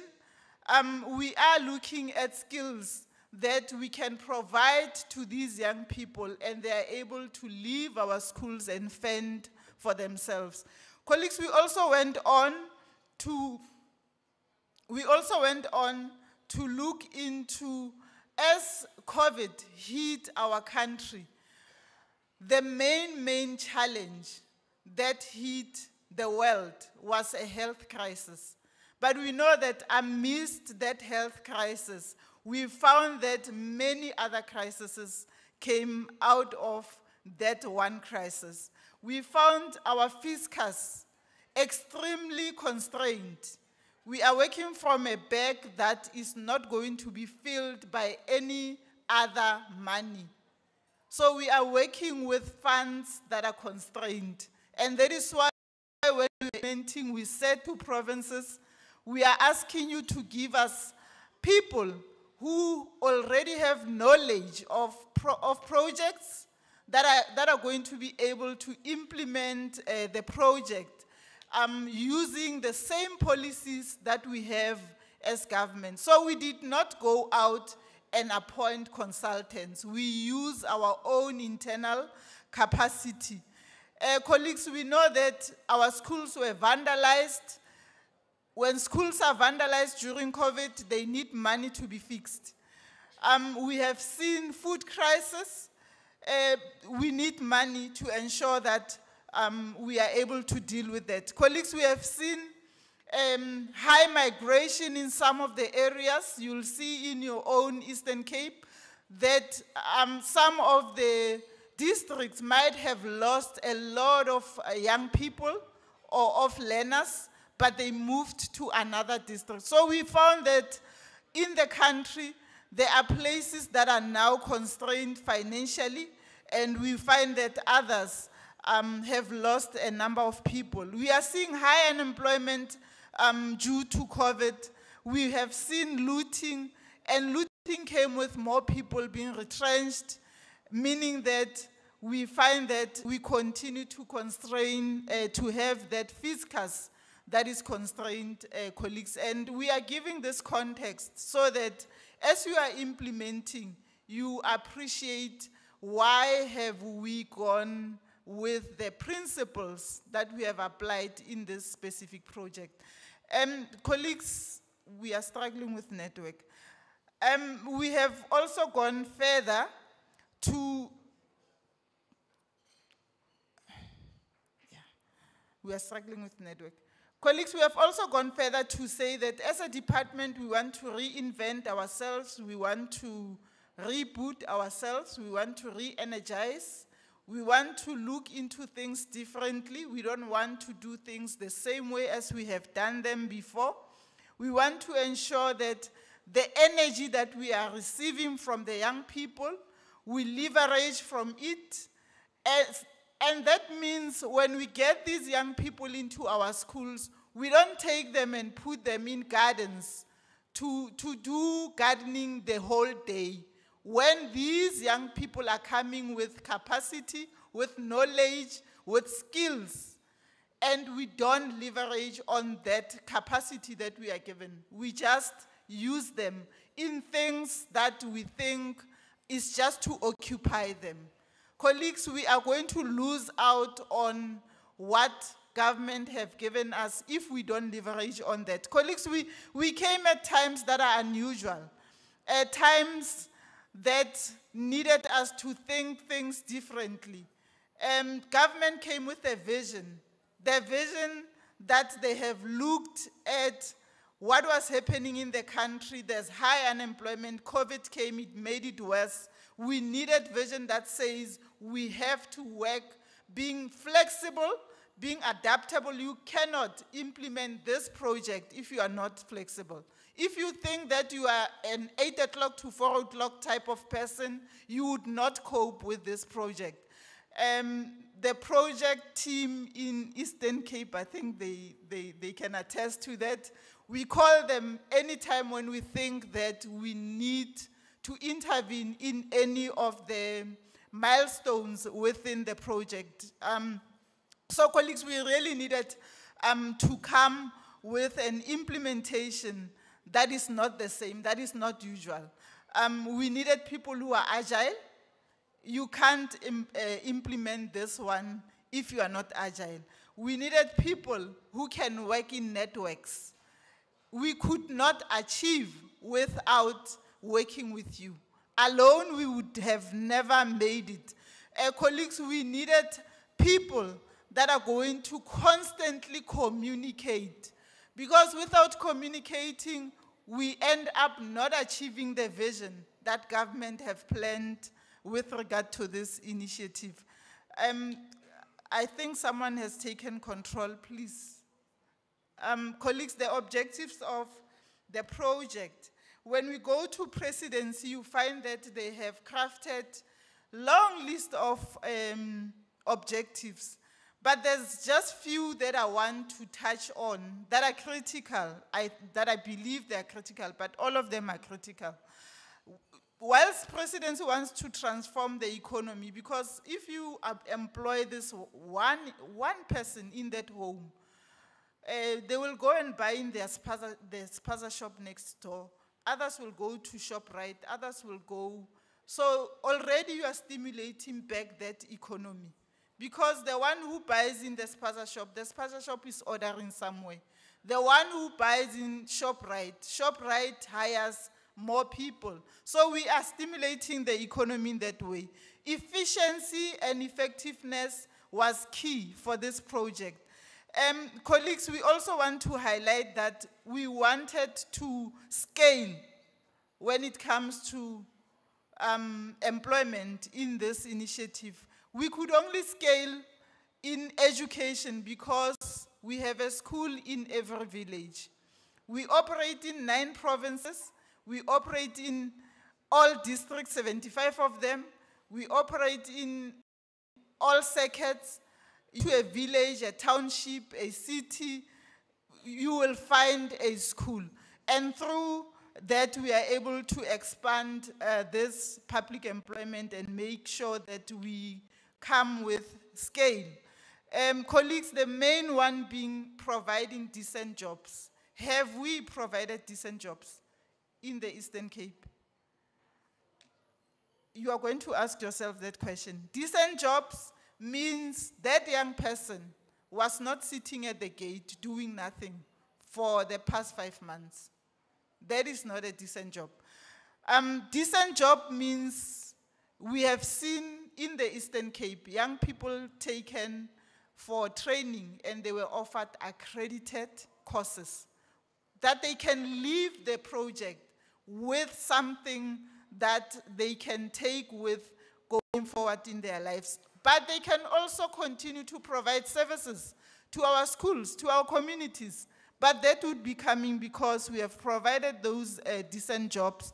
We have reduced youth and also provided meaningful experiential learning. So when these young people are in our classrooms, they don't just sit, they receive meaningful experiential learning that can lead them to, to loving education and becoming teachers themselves. We have seen others saying that they are going to study teaching. Colleagues, we have also uh, partnered and forged collaborations. It's only through that that we were able to roll out this initiative with a speed of lightning. Colleagues, when you look at SA Youth, they came with their own money. We did not pay SA Youth a cent. they come with capacity, numbers that were managing those millions of young people who were querying about the project or who were querying about our adverts. We did not have that capacity. Imagine if all our schools had to have queues of people coming to apply. It was COVID and it was um, those levels that were high. We would not achieve without working with our partners, operating um, with, with them. Colleagues, we, the last part that is very critical is to ensure that these young people are going to be led into pathways that will lead into the future so that they don't just come in and stay in our schools and they are not finding anything else beyond this initiative. We want to see them leaving our schools with a bag full of experience, but also leading to other uh, opportunities um, that are linked to what they are interested in. Colleagues, we, we have also, as, whilst we are given this capacity, we have 440,000 teachers in the country. And the president says, I'm giving you 300 young people, 300,000 more hands to leverage on. Uh, it's not a permanent stay, this 300,000. So you are given this capacity, and we said, with this capacity, we are going to rebuild our, our education sector. Um, schools were closed. We have gone through rotational timetables. We have found that the lower classes were affected badly by these rotational timetables. A young person come to school today is taught how to read. Three days later, when they come back, they forgot what they learned. So we have to start all over. So, colleagues, we are seeing this as an opportunity to ensure that we, we build back in a better way. And whilst we are with the objectives of the presidency, we want to ensure that we stick with our sector priorities, look at the young people that we have provided in our lower grades. We are saying that they should be focusing on reading and literacy in grade one, two, and three. We know that when you go to schools to monitor, you find the is different. Reading champions are in grade seven. But when you go to classes, grade one, two, three, you don't find the reading. That is where we want to see our reading champions. And we are saying, colleagues, this is the time that when we go to phase three, we are able to correct some of these things. Um, we have also said that we want to ensure that math, science, and technology are prioritized and that you will find in the FET phase that we are specific in there. We are providing even modules to support uh, the young people that are going to be in our classes, assisting in those specific subjects. We have also provided the handyman. Colleagues, the handymen were supposed to maintain infrastructure, but we know that our schools are using them and to, to manage the gardens of our schools. Uh, the minister says you can do the garden today. Tomorrow, when it rains, the grass will grow again. And this young person will leave. As they leave, there will be no evidence of the fact that they were, they were in our schools because they were just doing gardening. So, colleagues, they are there to help us to maintain our infrastructure. And colleagues, we have also went on to say that we are offering young people that are going to deal with psychosocial support. And um, those are the, we, we know that our learners have suffered uh, badly when COVID struck. Because learners, some of them see schools as their safety haven. That's where they are not tormented by the outside world, outside themselves. But when COVID struck, some of these young of these learners were closed in the same home with the same people that are tormenting them. Whether it's emotional, physical, you can name all the torments. Whether it's about food that they have no food to eat, but in school These are the things that they find comfort, that they, they are catered for. Now, we are finding that they are suffering these psychosocial um, challenges, and hence we were providing um, the child and youth care worker to take care of that. Uh, colleagues, we are also providing the e-cadets that can assist to integrate ICT in our classrooms. We have seen during COVID that that is the biggest challenge. The, the challenge is not only infrastructure, or the challenge is not only um, the gadgets, it's also the knowledge of how to use some of these um, in our schools. We know that you will find the MEC have provided in some schools um, ICT gadgets, but they are not utilized for the purpose that they were intended because there's no one who have the knowledge. So we have wanted to provide the e-cadets for that. Colleagues, with this initiative, we also wanted to strengthen governance, accountability, and management of SMTs and SGBs. You'll ask why. Remember in our schools, we are implementing in schools that are section 20 and section 21. Already it kicks in that we are talking about schools, some of them have no financial management responsibilities. And we are saying with this initiative, if we can give guidance, can set and kind of, of um, structure that schools are to follow. With regard to the leadership colleagues, we are saying that as a department, we've got solid structures that are supporting the initiative. We have worked with our MECs, with our minister, with our DG and HODs, and we have found favor with everyone in government on this initiative. That's why it's successful. It's because we have found favor with teacher unions, with our SGBs, with our principal bodies. We have consulted with SAPA. We have been in consultation with our QLTCs. And colleagues, as we have said, the sector would have not achieved without acknowledging that the structures that exist have actually assisted in ensuring that we continue to even improve on how we implement. If you check phase one against phase two, you will realize there's quite a number of changes that were implemented. But in phase three, we are still coming with more changes. Um, just to cater for all the inputs that we receive in the sector as we continue to implement. Colleagues, we continue with the next slide, colleagues. Um, we continue to indicate that we have implemented in an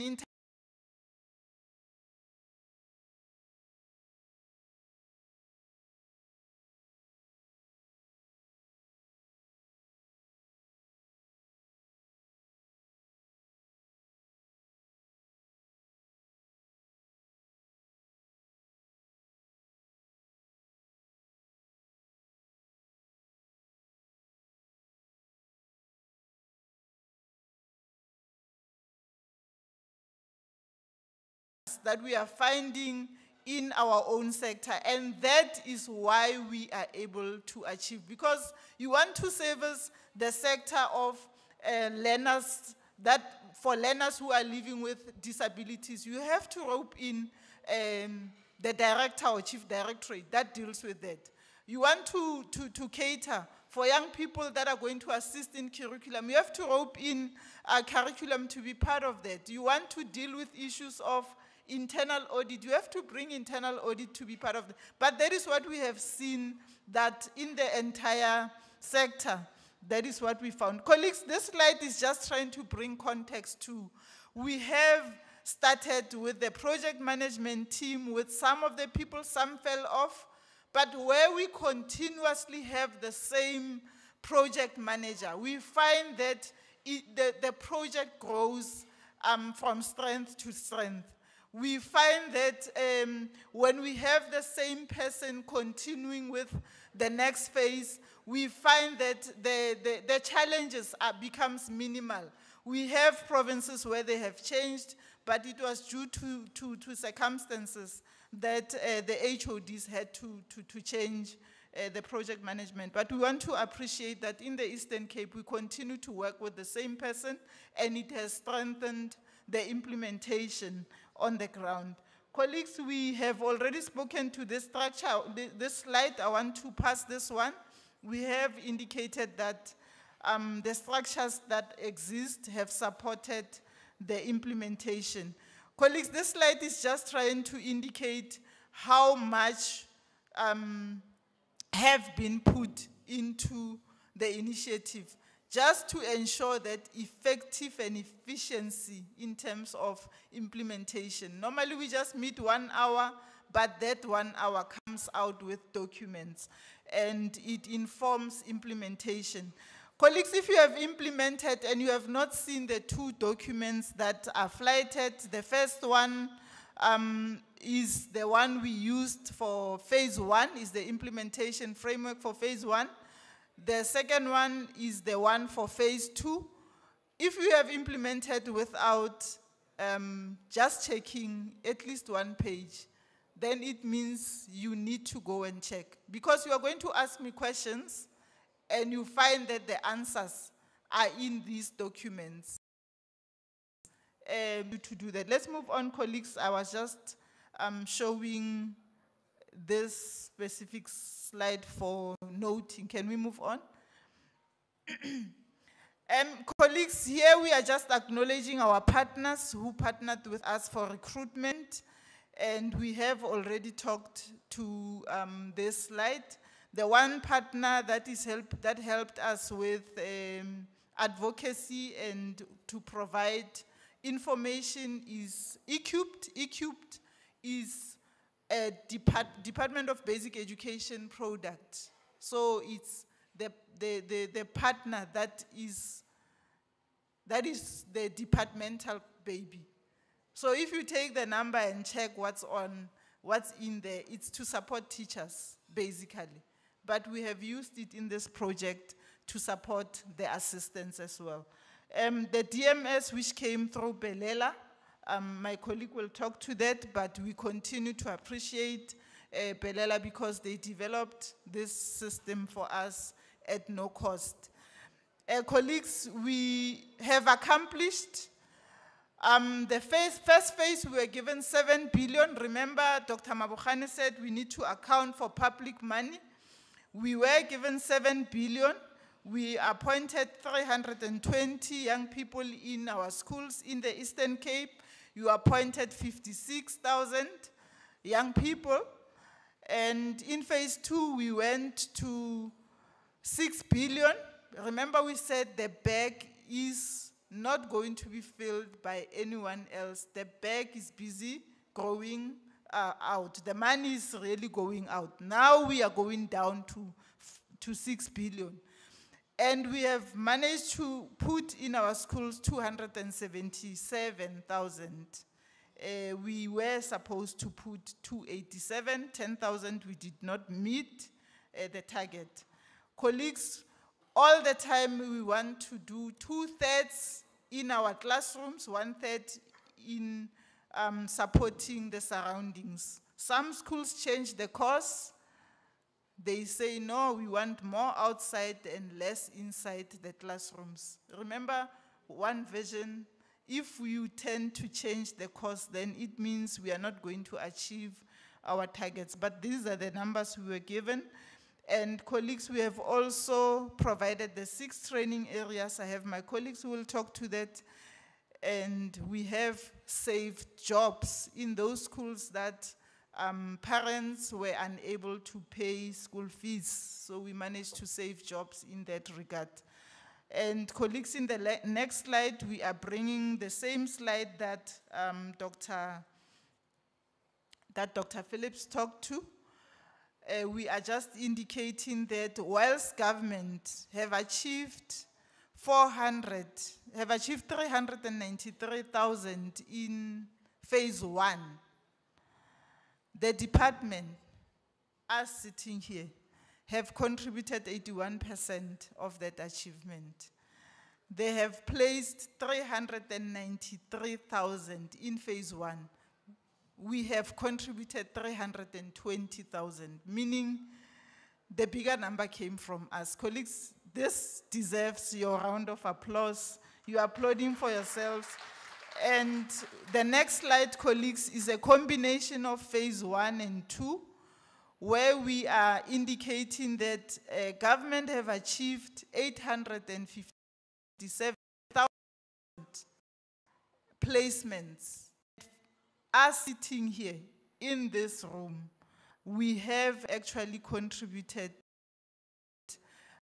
190,000 those job, jobs that um, the young people that were. So we have provided 69.5% of that achievement. I think we deserve the last round of applause to ourselves. And the, the next slide, colleagues, which might be the last one, um, is just indicating the social value. I want to talk to just one that I think one of the other colleagues talked to the multiplier effect. Colleagues, you take one child who have seen that there's no hope for him or her. You just take that one child and you put them in this initiative. You find that you have changed the entire, you have changed all the friends of even how they talk, they change. Even how they see themselves within society, they change. Even how they see the school that they were placed at, they change. So it, this project has that multiplier effect. You change one, you change more than 20 person, people around just this one person because you have provided the hope that they never thought they will, they will uh, receive anyway. Because remember, some of these young people from child-headed homes where there is no hope whatsoever. Let's move to the last slide, colleagues. The last slide, colleagues, is indicating our 596. It was there in the slide of Dr. Phillips. If you look at that slide, it's saying that um, the jobs that were created by the 13 departments that are implementing the presidential employment stimulus, because it's not only DBE implementing, other departments are implementing. We have by far surpassed what was what looked like a huge challenge and we have implemented uh, 596 of this 596 i can safely report to you that we have about 22000 that were in both phase 1 and phase 2 meaning we have actually achieved in terms of placement because it means we did not take the same people from phase one to phase two. And I think that deserves the round of applause because it means we did not, um, we have actually ensured that we appoint uh, different people. Colleagues, I'm going to step off and allow my colleague, Mr. Maponya, to take on from here to present on training. I wanted to fly this slide the last, so I'm going to skip it. We'll come back to it. Thank you.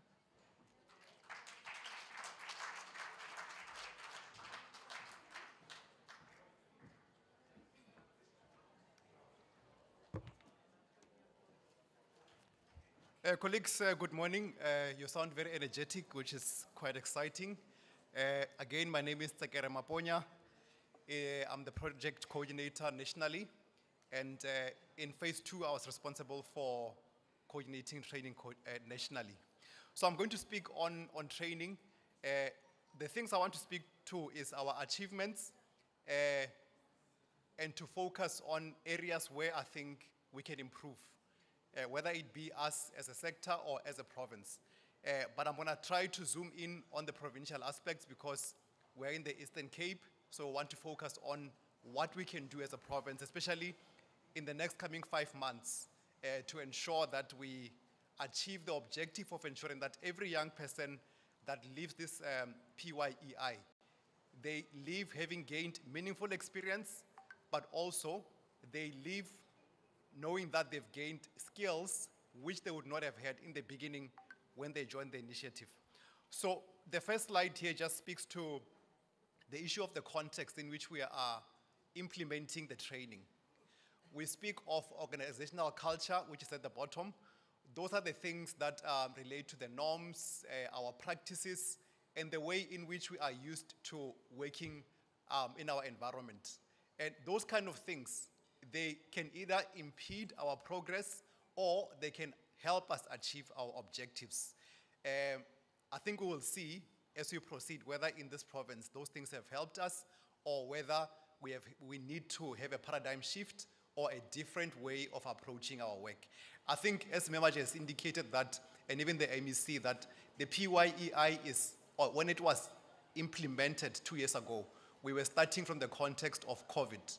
But as a sector, we are trying to leverage this to change the way in which we work because COVID has demanded that we work differently, not only in terms of working from home remotely, MS Teams, but also our attitude towards work and our- attitudes toward, towards how can we improve on achieving our objectives. That's very, very important. Um, I now see myself on the screen. I would like to see the presentation. I saw myself in the mirror this morning, so no need to see myself now. Um, so this slide speaks to what we have tried to do because we were in phase two until recently. We are now in phase three. What did we, we, we did is we looked back at our performance in phase one in terms of achieving our targets in the numbers that we wanted to train. Uh, we struggled a little bit as a sector in phase one, and we thought what we needed to do was to put a structure in place which will coordinate training. And in this province, uh, Ms. Zandile Magai was appointed as the training coordinator, and she did not have to work on her own, and she was not the one who was supposed to implement the training. Her responsibility was to coordinate the implementation, to monitor whether we are on track. Uh, Dr. Mabwani spoke uh, at length about the importance of monitoring. So these structures that we've put in place are to ensure that we keep a constant eye on the progress that we're making. Colleagues might have been inundated with requests for information from Ms. Magai on a weekly basis. It was not of her doing, but it was essential that we did that. I think we'll speak about DMS tomorrow and how it's supposed to help us with- monitoring, but we're going to focus ourselves on training here today. So this structure is supposed to help us to improve on the implementation of training, and we hope that it has worked in the province, and we hope that where there were challenges, we're able to pick up on that and see how we can improve. Um, if you can go to the next slide. The, the next slide seeks to, to, to show us the different areas um, that we have in this program. Colleagues will recall that in phase one, we had two hard categories. The, the first hard category was for the education assistants, and then everybody else, which was the general school assistants. So what we've done is we've, we've tried to segregate the two by trying to be more clear as to who qualifies or who is regarded as an education assistant. And we have said that those are the young people that are appointed to assist our educators in the classroom, and you call them curriculum assistants. And we also have e-cadres. E-cadres colleagues are supposed to help with administrative duties in the, in the classroom, but also in the school as a whole. And one of the things that made us want to have this category was because we're speaking about ICT integration in the classroom. We have noted that in some instances, our schools have ICT equipment and facilities, but because they don't have someone who can support them to use them, then they end up not being used, and as such, who suffers is the children. And sometimes even our education they themselves don't have the confidence of going into ICT and see how it can improve learning and teaching. I was talking to Memaja yesterday, she was reminding me about the finding of the, the TALIS uh, study. I think it was from 2020, if I'm not mistaken.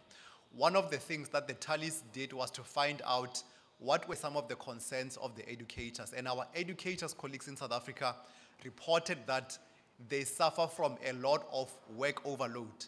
And the work overload, it was not really about teaching because that's the primary core responsibility. But the educators also have to take care of other administrative responsibilities. So we thought that by introducing the ICT or- the e-cadres, even the curriculum uh, support uh, assistance can help us introducing and alleviating those pressures. We also have Reading Champions colleagues. Uh, this really speaks to the sector uh, in- uh, the, the, the sector targets of improving reading and numeracy and literacy, especially in the foundation phase, which our international studies are showing us that that is an area where we need to have an intervention.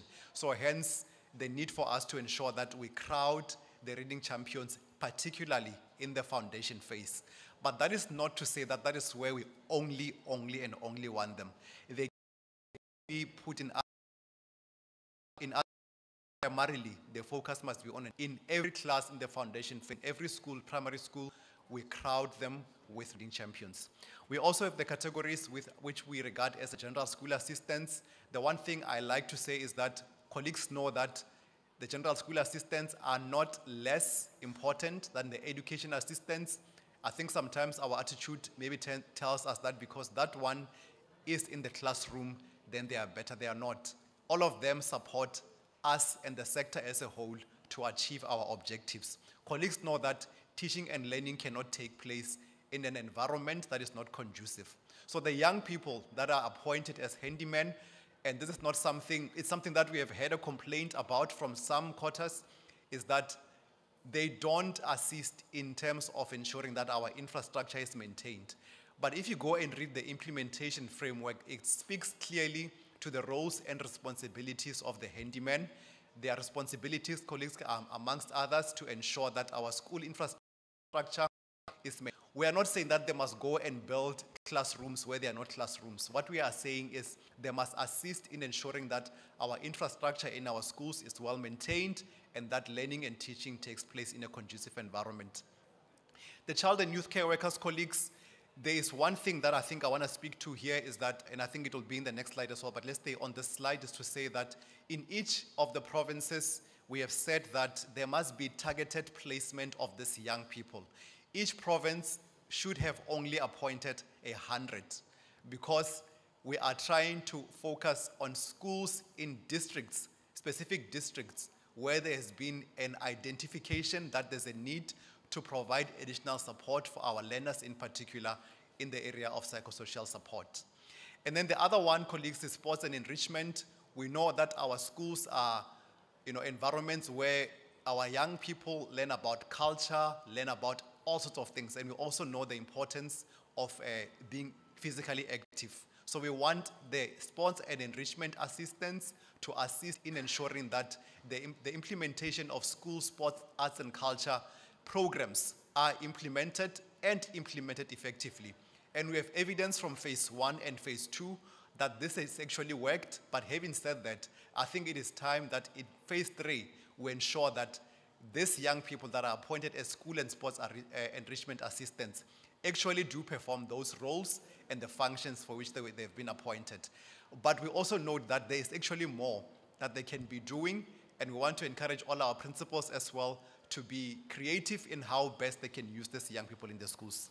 Let's go to the next slide, which uh, shows us a categorization of the education assistants, because we have said that in our implementation framework, in terms of the young people that have been appointed in totality across the board, but also in the provinces, even as you go down to the district and the circuits, we are saying that two thirds must be education assistants and a third must be general school assistants. Why we're saying so is because we want to crowd support for teaching and learning in particular. The one main thing which also I think we need to correct and focus our energies on, particularly in phase three, is to ensure that the young people that are appointed as curriculum assistants, they are placed in the correct subjects, in the correct phases. Uh, the next slide, which is not showing at the moment, is supposed to categorize what those look like. And that's, that's, that, that slide is taken from the training framework or the training plan, which uh, was drawn up nationally. And we had requested that the province also do the same in ensuring that what has been planned nationally is implemented also at the level of um, the schools as well. We can skip this slide. I think I've spoken to the, to the training plan and the framework.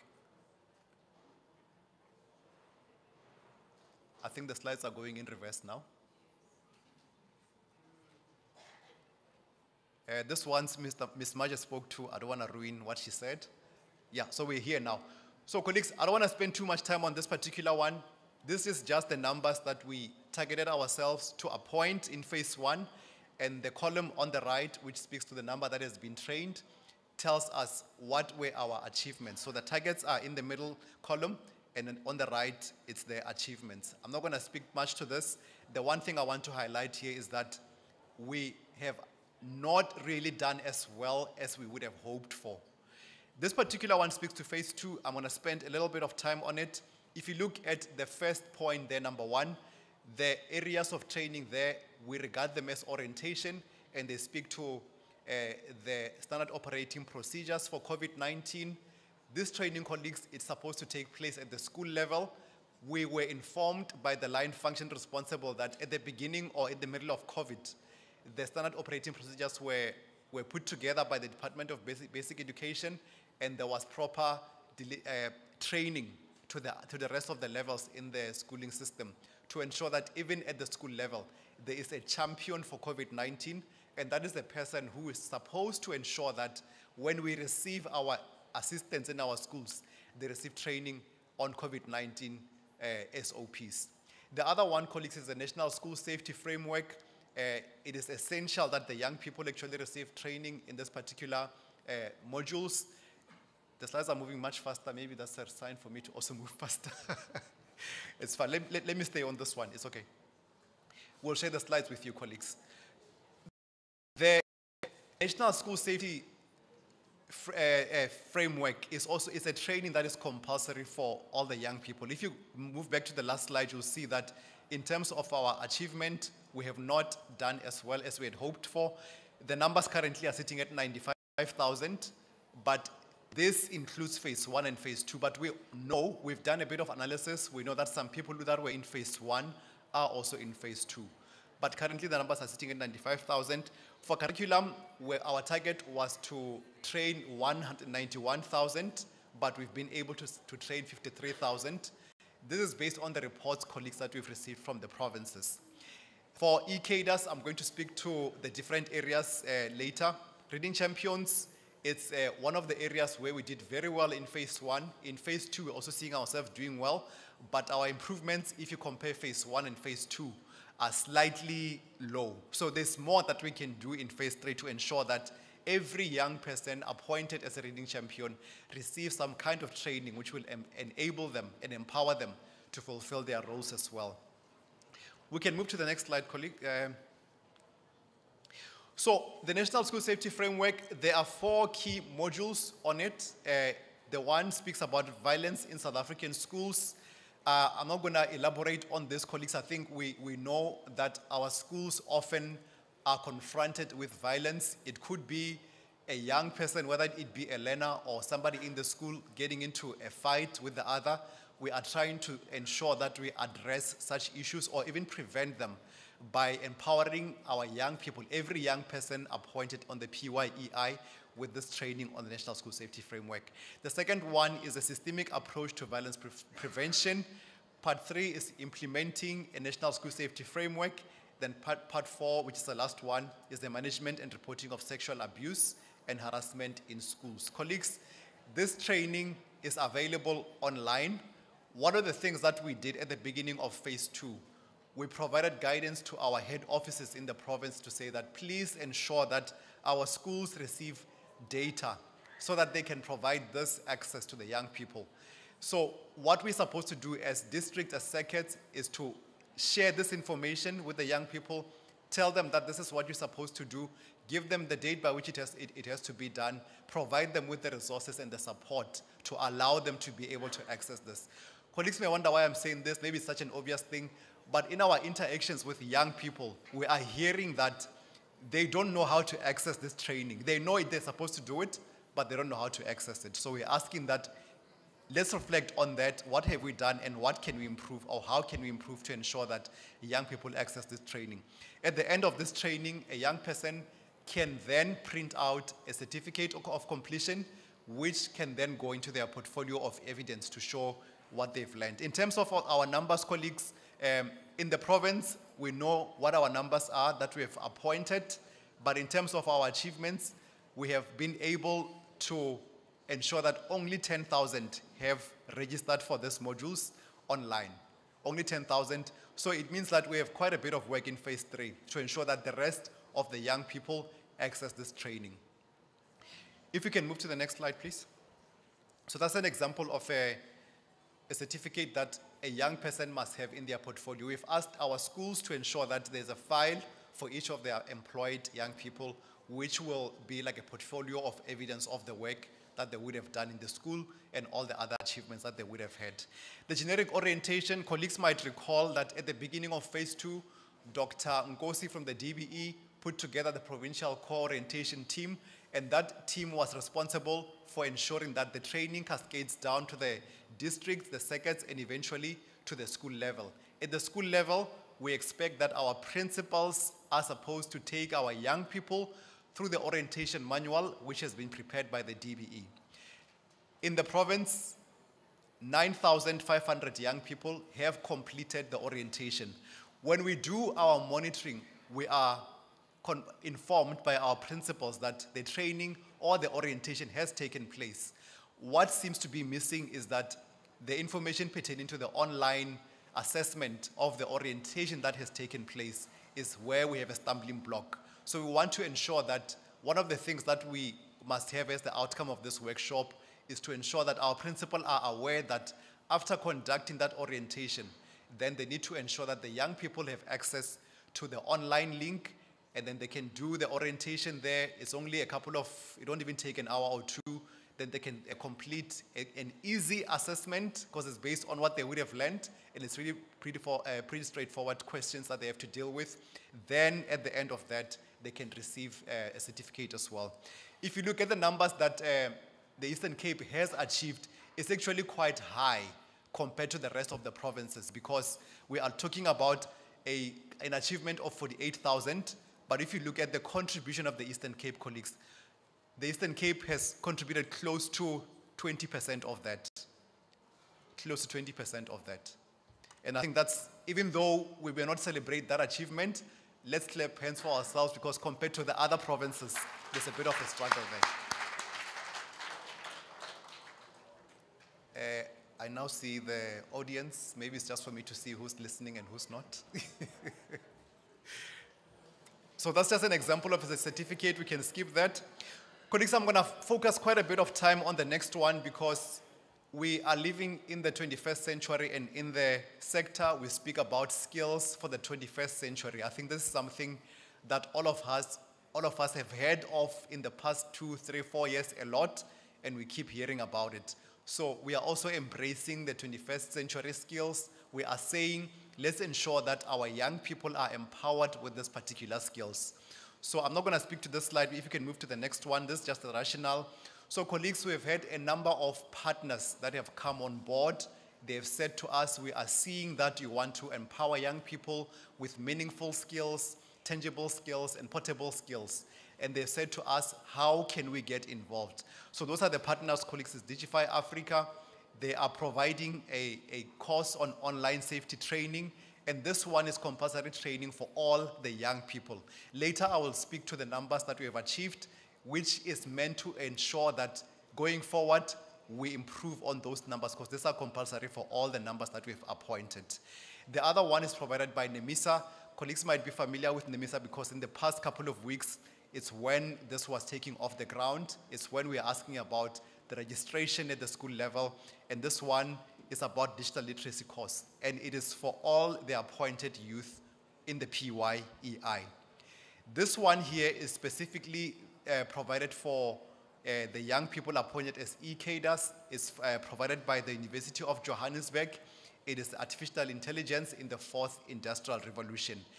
Some of the contents there, which I'll speak to later as well, is, is coding and robotics. And again, colleagues, that's something that we're moving towards as a sector as well, but also the world is moving towards that as well.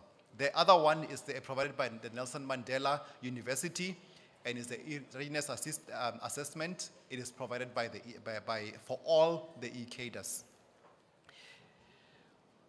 So this slide here is just meant to show us how long each of the training areas are supposed to take. The first one provided by Digify Africa, which is the online safety, compulsory for all the young people. It only takes three days, colleagues. Uh, and this one is also self-mediated. So you go on your cell phone, there's a chat bot there, you register the number that you're supposed to chat with, and then you get going only three days, and then you're done. The one provided by the University of Johannesburg, as you can imagine, the University of Johannesburg is an institution of higher learning, so they provide those kind of training. So this one is a 10-week kind of training. Um, like I said earlier on, is for the artificial intelligence in the fourth industrial revolution. And this one can be accessed on the University of Johannesburg portal. It's only for e-cadres. So what is required of the province is to ensure that all the e-cadres appointed in our schools, their, their registration information is provided to the University of Johannesburg so that their information can be pre-populated. Let me give this example, colleagues. If I am not a student at the University of Nelson Mandela, I will not be able to sit for an examination, whether it be in engineering, whether be it in education, whatever, but I need to be registered first. That's why it is essential that for this particular one, we ensure that our young people, we provide the relevant information as requested, in the format requested, so that they are able to be registered and they can then access the training. That's the one part. Then with NEMISA, five weeks, colleagues, uh, we have five months, but this one is only five weeks. Let's ensure that where there's still space, let's close that gap. Remember, this one is compulsory for all the young people in the province. I've showed you the numbers for the province. Let's ensure that those who are left behind catch up in the next five months. Only five weeks, and they also need to be registered on the NEMISA platform. We have received questions from young people asking us, how do I access this training? Colleagues might remember that sometime, I think in January or from January, even December, we were asking that our schools, our circuits, districts must provide the information for the young people to be registered for these modules. Now, young people are getting on the link because they are communicating with each other on Facebook. Someone has shared a link on Facebook to say, this is the link you can use. Then when I get there, because I'm not registered, I'm not able to participate. So where there's a gap, which is where the gap is in terms of registration, let's ensure that we provide the necessary information for the young people to access that training. The other one is the Nelson Mandela University uh, e-readiness um, assessment. Only two hours, colleagues. It's a webinar. Just sit down, attend a webinar, and then you get the instructions, then you're done. I didn't speak about MTN and DigiCampus, but they're also providing online education portals. This one's also two hours, it's a webinar, and then you're done. In the time that we've been here since the morning, colleagues, since nine o'clock, but I see that all of you were here very, very early, around eight o'clock. In the time that we've been here, some of us would have been done with two training modules already in the time that we've been here. What I'm saying is that it really isn't that complicated. If we are able to support our young people with relevant information, if we register them on the platforms, if we provide them with the access to network, then two hours, you're done with one thing, and then you can provide that put, put, uh, uh, information in your portfolio. Then there's the last one, which is uh, financial literacy, and this is provided by uh, Belela Technologies. We can move to the next slide, thank you. This one here is also compulsory. So I'm going to provide the details of the online safety training, which is provided by or through Digiti Digify Africa. The one thing I'm going to ask you to do now, I see some of you are already on your cell phones. Uh, please keep them on. If you're not on your cell phone, let's do it now. Take your cell phone. Uh, I hope it's a smartphone. I know some of us use those small ones. I don't know what you, what you call them in the Eastern Cape, but I hope by the time I leave, I'll know what they're called uh, those small ones. But if you have a, a, a, smartphone, colleagues, let's dial this number on our cell phones now. It's 076 076 593 7181. 076 593 7181. And I'm sure some of you already have this information because you would have been exposed to this at some point. So don't be surprised if it pops up on your phone. Save the number as Kitso, K-I-T-S-O. Kitso means knowledge in the Sotho uh, languages. I think we probably should have given it a different name here to reflect the demographics of the, of the province. Kitso is knowledge. So once you've done that, colleagues, you go to your WhatsApp, look for the contact Kitso, and type hi, the number hi, H-I And then it will take you through the next steps as to what you need to do to complete this training. So once a young person has done that, the modules that they can access relate to dig- digital presence, uh, community standards and reporting, bullying and harassment. And colleagues might probably wonder why are these things important. If you are on social media, especially a place like Facebook or Twitter, you may have come across some of the rude things that people say to each other. And this is why it's important for us to expose our young people to this kind of training. So it's bullying and harassment, online safety. Uh, some of us maybe pay our bills online through our cell phones or maybe through our laptops. Right now I'm sitting here, but my laptop is down there on my desk. I don't know if Ipeleng has transferred some money to him, might have. And by the time I realize, maybe there'll be nothing in my account. But I may not know who has done that. So online safety is quite essential. Misinformation and fake news, I think this is something that Mr. Mtlanga is going to speak to later. I'm not going to touch on what this means, but we understand, colleagues. Just in February, there were a lot of stories about what's going to happen in phase three. Some were saying, no, we'll get contracts for 12 months. Some were saying, no, this thing's going to become permanent. Because people in this day and age are very creative, they're very smart, but they want to be the first ones to communicate, whether it's wrong information or correct information. But as sitting here, we are saying that we want to be able to say that a young person must be able to, to, to discern that this information is correct, this one here is misinformation, and this particular one here is fake news because there are platforms that we use to communicate information. And the other one is about privacy, and then the other one is about digital tools for the, for, the, for the classroom. Colleagues, as a province, we have been able to register 13,244 young people on this platform. So there's a, a shortfall which we need to address in this coming phase so that we can ensure that every young person is able to access this particular training. Remember, I said earlier on that it's compulsory for all of the young people. Let's move on to the next slide. So I'm going to skip this one broadly. I'm going to skip this one as well as just to indicate the numbers broadly. We can skip it.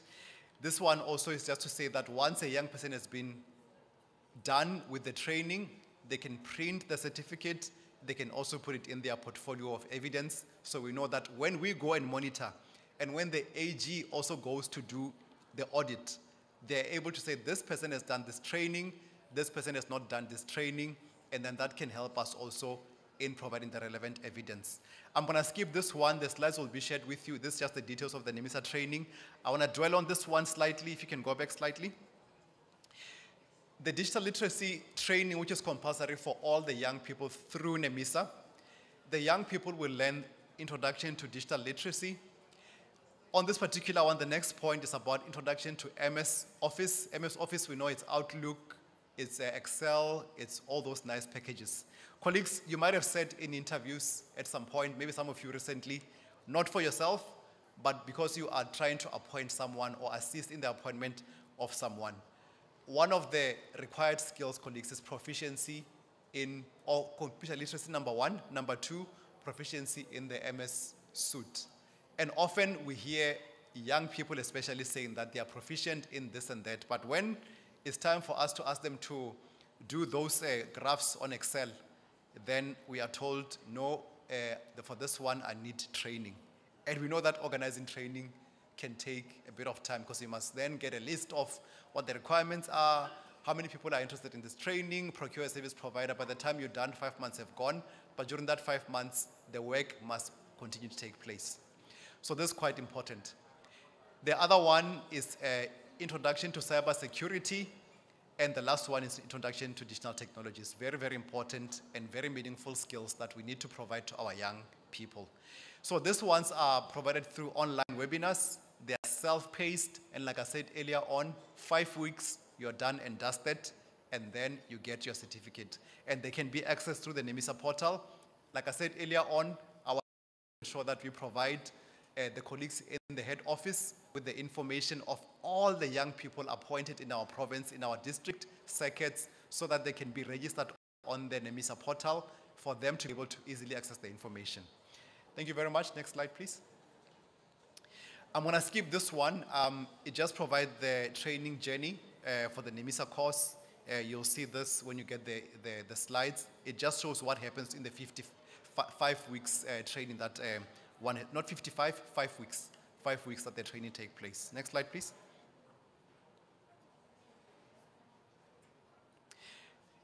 This particular one slide just shows us as a province in terms of how many young people are registered on the system. It's 8,300. This is again for us to reflect and say, where are we? And we are below 50%.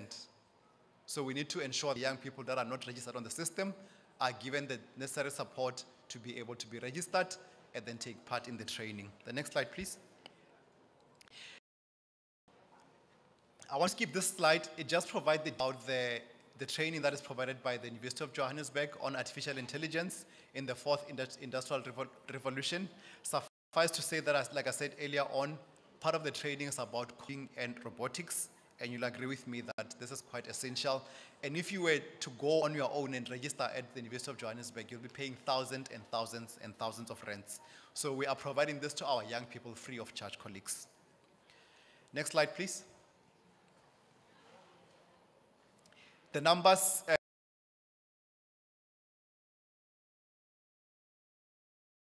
uh, overall, remember this is only for EK 22,000. Currently, we have only reg- registered 7,000 on the system. That's for the whole country. And in the Eastern Cape, we have registered 1,800. Relative to the 7,000, it is actually quite a good achievement, but we can ensure that we appoint or we have more people registered on the system so that more and more people can actually uh, benefit from this. You can skip this slide, it's just a picture of the previous one. I will now hand over to Mr. Logodi to take us through the presentation on the financials. Thank you very much, colleagues.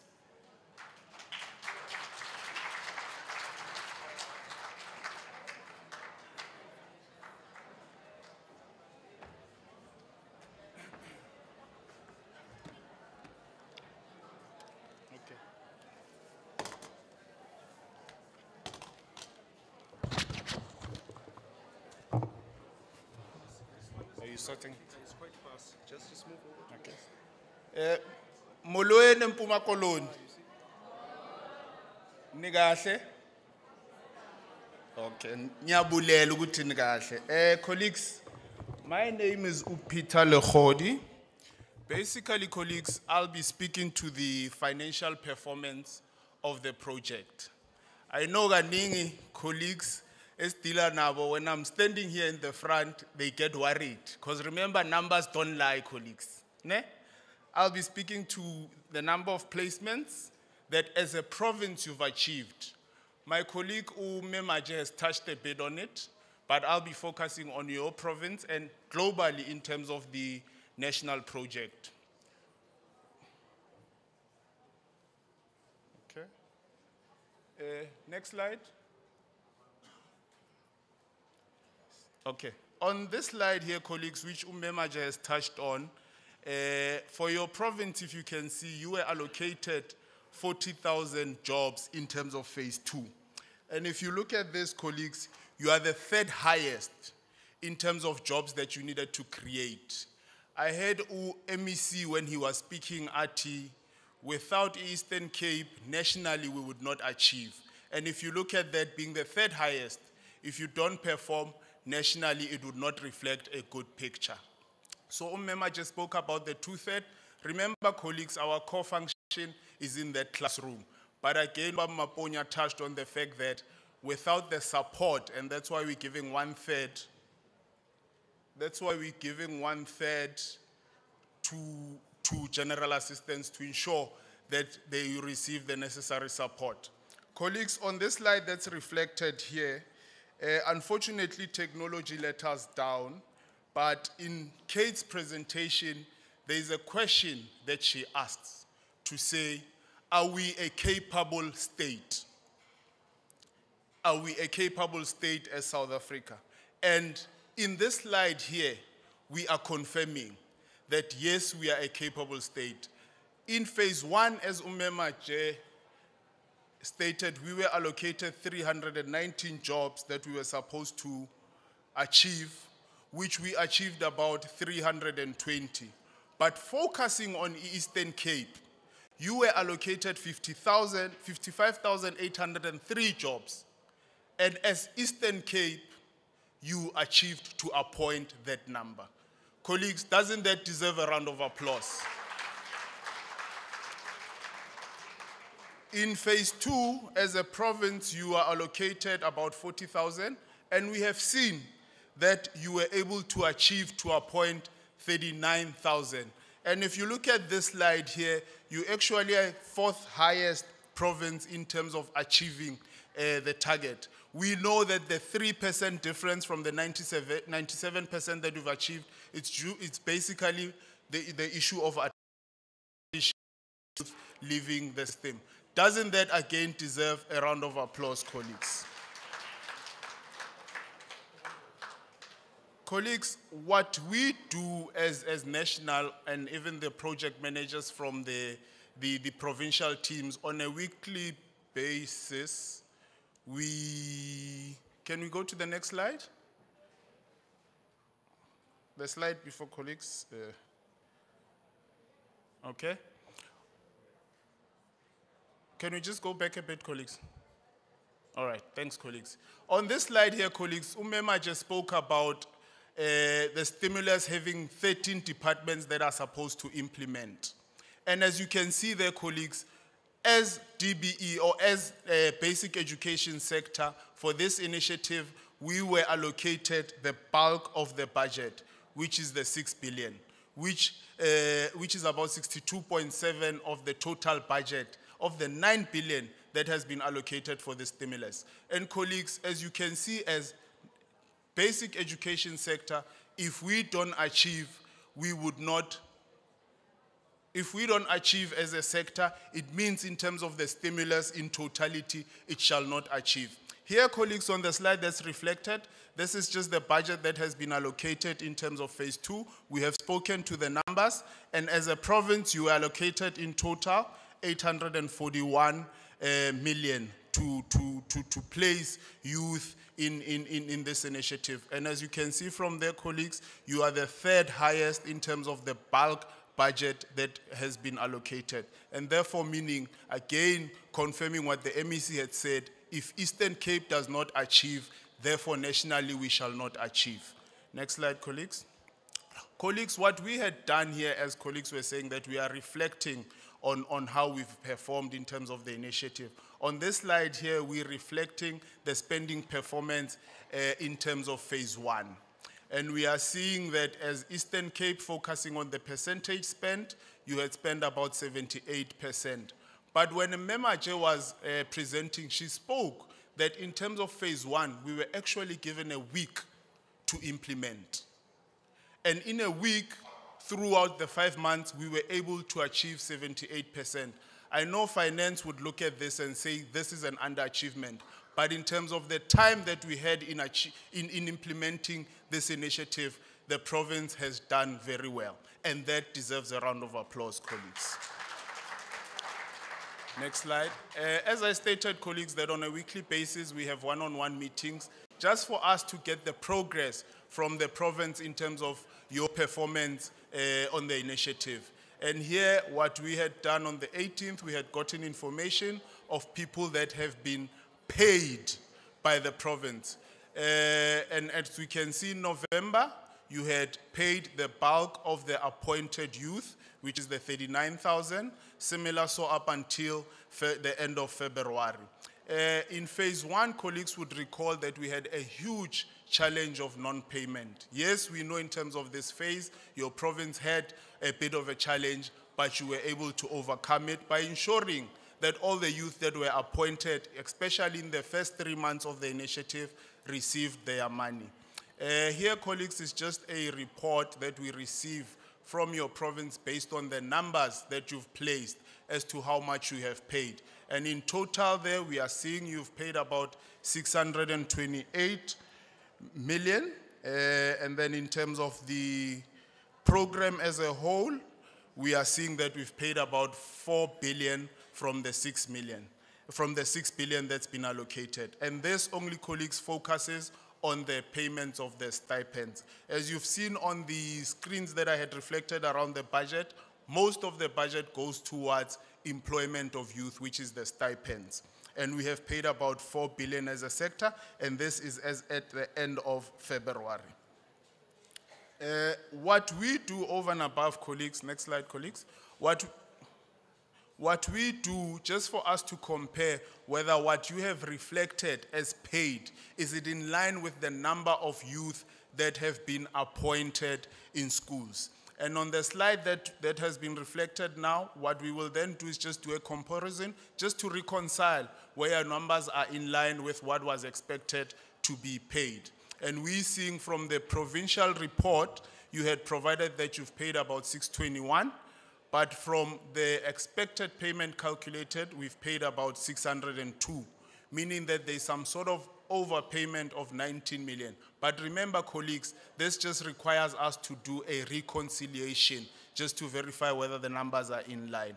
So the project team, we just need to ensure that we do the reconciliation. But we know that in terms of the UIF employer contribution might be part of the 19 million that's not reflected as, as unpaid. And then in terms of the sector as a whole, we are seeing there's a difference of about 92 million.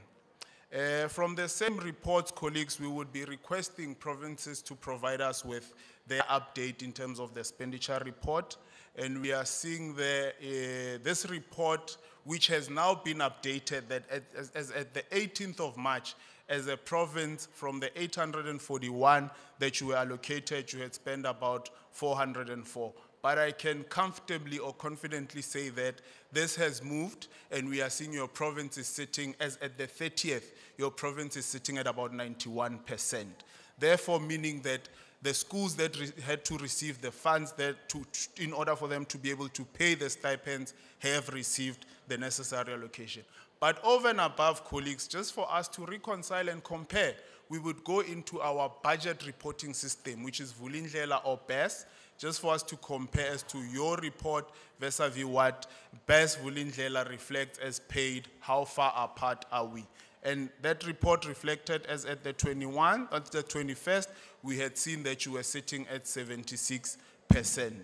Uh, and a comparison between what you have paid as, as, as, as, as a province vis-a-vis Vulindlela, there was just a difference of 234. But as I said, now you have moved as a province and you're sitting at about 91%. Colleagues, I have come to the end of my presentation. Thank you.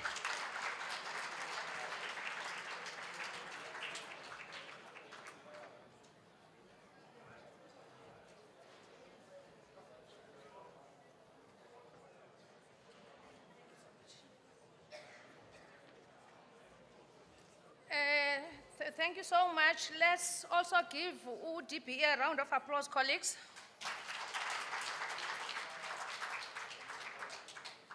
Uh, I, just want to request upepese ntombomzi A- a- kumsana uhamba nishiya bethunana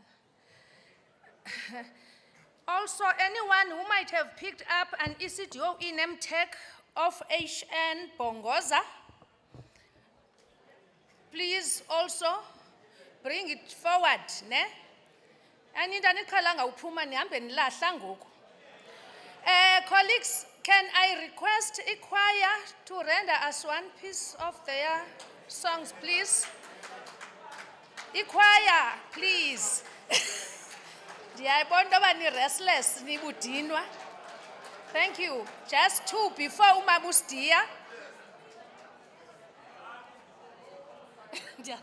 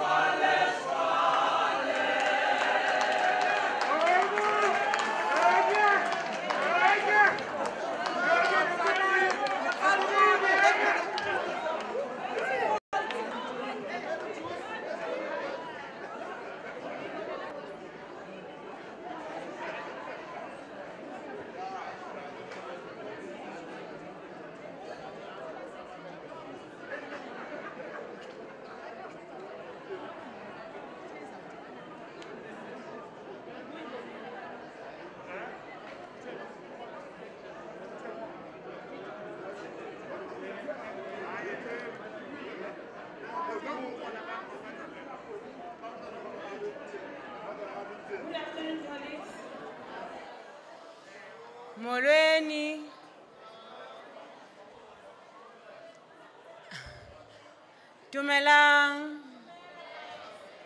Eh, colleagues, I am Luca Nyosidia, the provincial manager of the Presidential Youth Employment Initiative in the Eastern Cape. Eh, when the commander-in-chief speaks, Makutuleke, because I am the funder of this project. And everybody that is here, they are invited because I sent the invitation to them.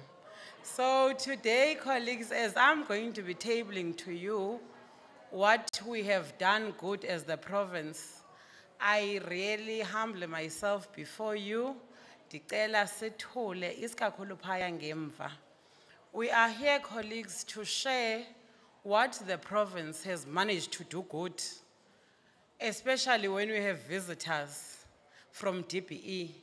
We know very well what we are unable to do, but today we are coming to tell DBE that bring back the money to the Eastern Cape because we are, and when we are working in an integrated manner, we are able to see the result that was tabled before us through the financial report, through the performance report. So my presentation today, unfortunately, colleagues, will only center around the good that we do in this province. The good that each district, each circuit manager does will be a reflection of this presentation. If you are here again to listen to the challenges, we'll call you one-on-one of the department and we'll definitely discuss our challenges. My name is Lucanyo. I only concentrate on light, and I think the name itself speaks to you colleagues to say the only thing I concentrate in investing in energy too, it is what is good. So I'm only going to talk to what we are able to do as the province. Uh, Sislala and your team, you are welcome. And as I'm going to be analyzing the performance report and the project uh, in, in, in its totality, uh, I want to assure you that this presentation is not a presentation that has been made by Mamosidia. We have information received from the di- di- districts, from the circuits, and I think uh, as a project uh, coordinators, they introduced that we are not alone here as a province, but our circuits are also here.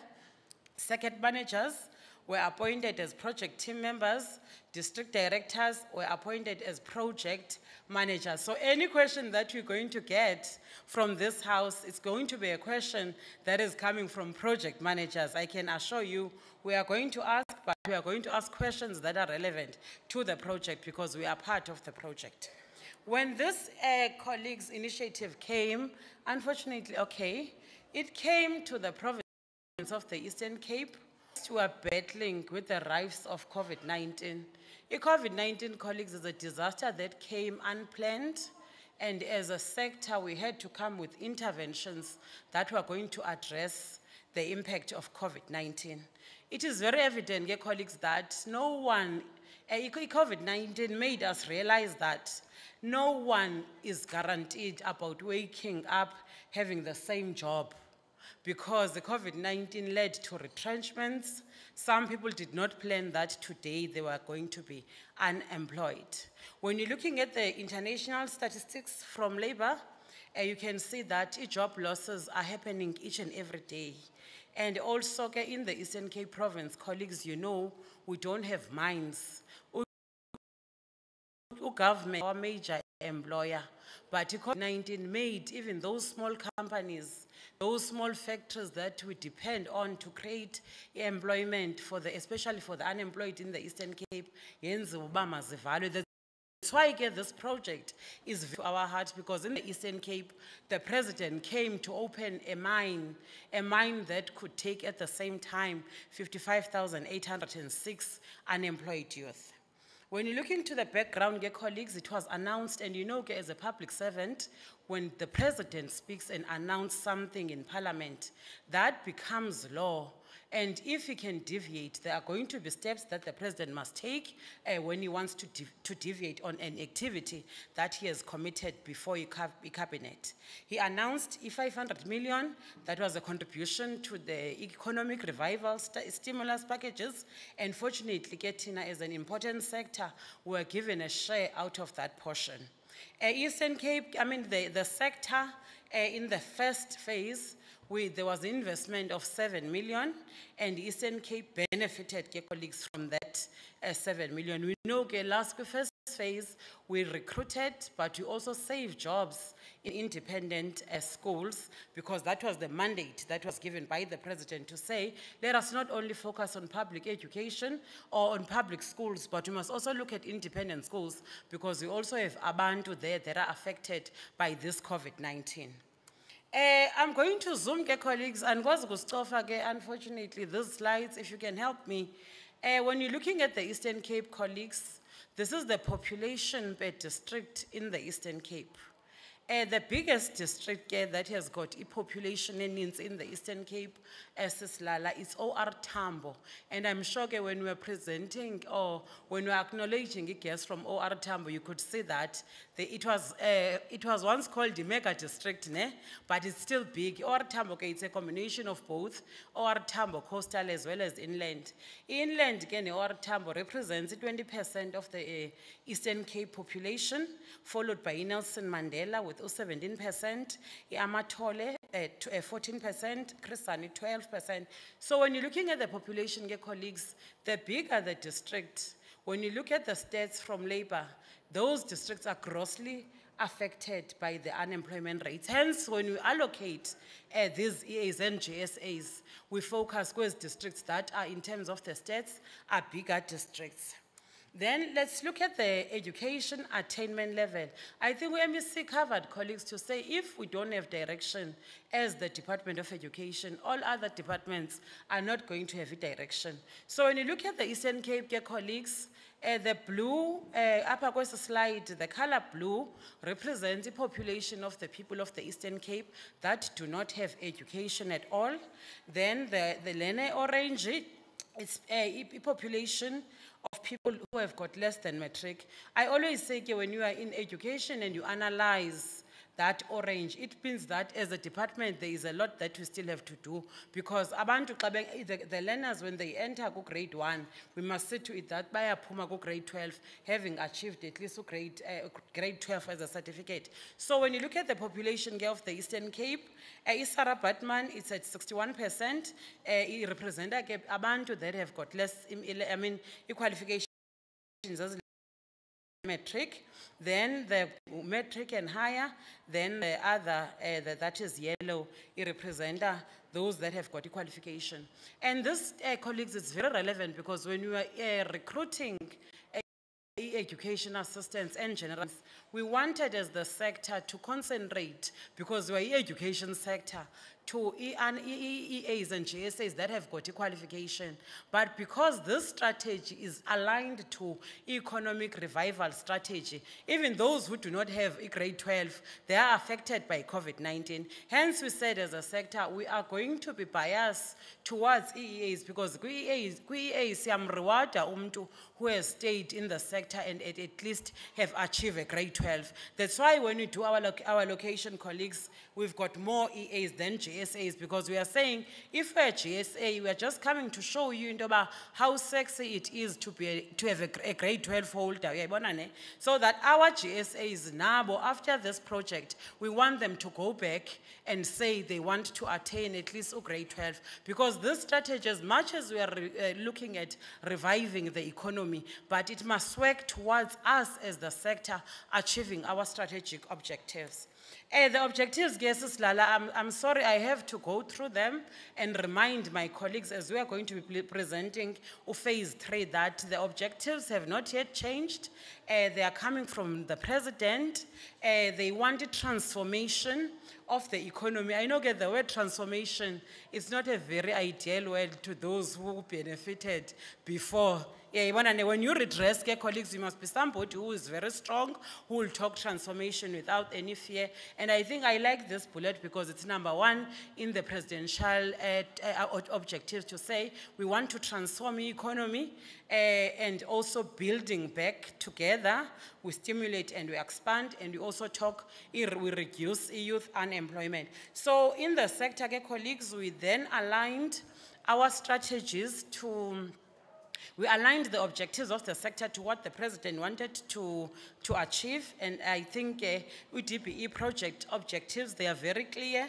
The national project team has actually uh, presented the, the, the project objectives. I am not going to dwell kuzo, but our responsibility in every government, in every democratic uh, government, we talk of alignment. If our strategies are not aligned, then we are not going to achieve what we want to achieve as government. Because the government, ke colleagues, immediately we want to implement projects in a disintegrated manner, then we are not going to realize the vision of government. So hence we are saying, as the sector, before our business plans were approved, we had to prove to the president that our business plans are aligned to what the president wanted to achieve. Uh, in the province of the Eastern Cape, colleagues from DBE, I want to share with you that we've got a project team that is composed of e project managers in the head office. We've got it at a district level, uh, all district directors, they were all appointed in writing, uh, together with our circuit managers, our deputy directors, HR, as well as finance. They are all uh, coordinating and making sure that the project achieves its objectives. Then at a school level, what we also did is in the province, we issue, we, we, we appointed our school principals in writing because we wanted them to know that this project is coming to stay, colleagues. Sisiqala ku-phase three ngoku, we cannot expect as a province somebody who's going to say, hi, this EI of yours, we don't understand. This EI is implemented at a school level, the ownership must be taken by us, it must be taken by the principals because they are the ones that are driving the recruitment. No one in the district offices or in our head offices got the appointment. So when we want the investment, AIS Kolweni, we must also make sure that we, we, we emphasize the accountability part because we cannot only want resources without wanting ubase account. So our school principals in the Eastern Cape, they were appointed in writing as well as uh, orientated by the district teams. Uh, in, in 2021, we were given an opportunity, point 55,803, and that we achieved. Then also in 2022, uh, 20, um, 2021, 2022 financial year, an allocation for e-appointment of 40,316 uh, was created by the Eastern Cape, and that was achieved. Uh, phase one, ke, talking of the investment colleagues, uh, that was the total investment that was given to the Eastern Cape, 876 million, is dipens ngu 789. As you see, the, the, the breakdown for phase one was like that. And each district, as I'm presenting uh, the following slide, um, it, it talks about the number or the opportunities that we were offered to districts uh, to implement for their schools. And as you see, each district, there is no district that has been included engakhange ifumane the allocation in phase one. Uh, these were the opportunities that we created uh, for phase one. Then when you're looking at the economic benefit, colleagues, when you analyze any project of government, you have to look at it indlela how have you did economically? Because when you look at the objectives of the Presidential Youth Employment Initiative, it is evident that the president wanted to revive the economy, and one of our fundamental principles is to see how much have we contributed as the project into the in- in our regions. As you see, colleagues, the expenditure in terms of the payments that were implemented on Persal. I know, colleagues, uh, district directors, you did not see this money coming to your budgets, but you got to see it because it was on Persal and it benefited the EAs that we have appointed. So when you're looking at the investment, colleagues, the economic benefit that has been received, for example, in Alfred Nzo, uh, the total expenditure that we invested from the project it was 2 million, but 96, and that really, colleagues, yenza loo sithi really, as the sector, we did manage to achieve what the president has uh, wanted to achieve ngale project. Uh, when you're moving to phase two, colleagues, because the presentation is to- going to talk about the phase two as well as phase one. Uh, that was the allocation, and this is what DBE, um, uh, through the framework, uh, they guided the province to implement. And the investment, in terms of the um, national investment, we're at fourteen percent. I think finance from DBE has confirmed that, but ke budget has been allocated. And for phase two, the minister was very clear to say, we need to invest in skills. Uh, India skills, ge colleagues, is something that is very close to my heart because ke I'm responsible for human resource development. When you give an unemployed youth a skill, investment, Eastern Cape does not need uh, more administrators okanye HR specialists, but we need skills that are going to make our young people not to depend on government for employment. So you'll see ke, our investment because ke, in reality, if we are going to continue investing in soft skills, it means that next year we'll have the same EAs who will be wanting to come back and be EAs. And you know, in the Eastern Cape, we've got a strike of interns, interns not wanting to exit the system because they feel it, the government has got the obligation to take them.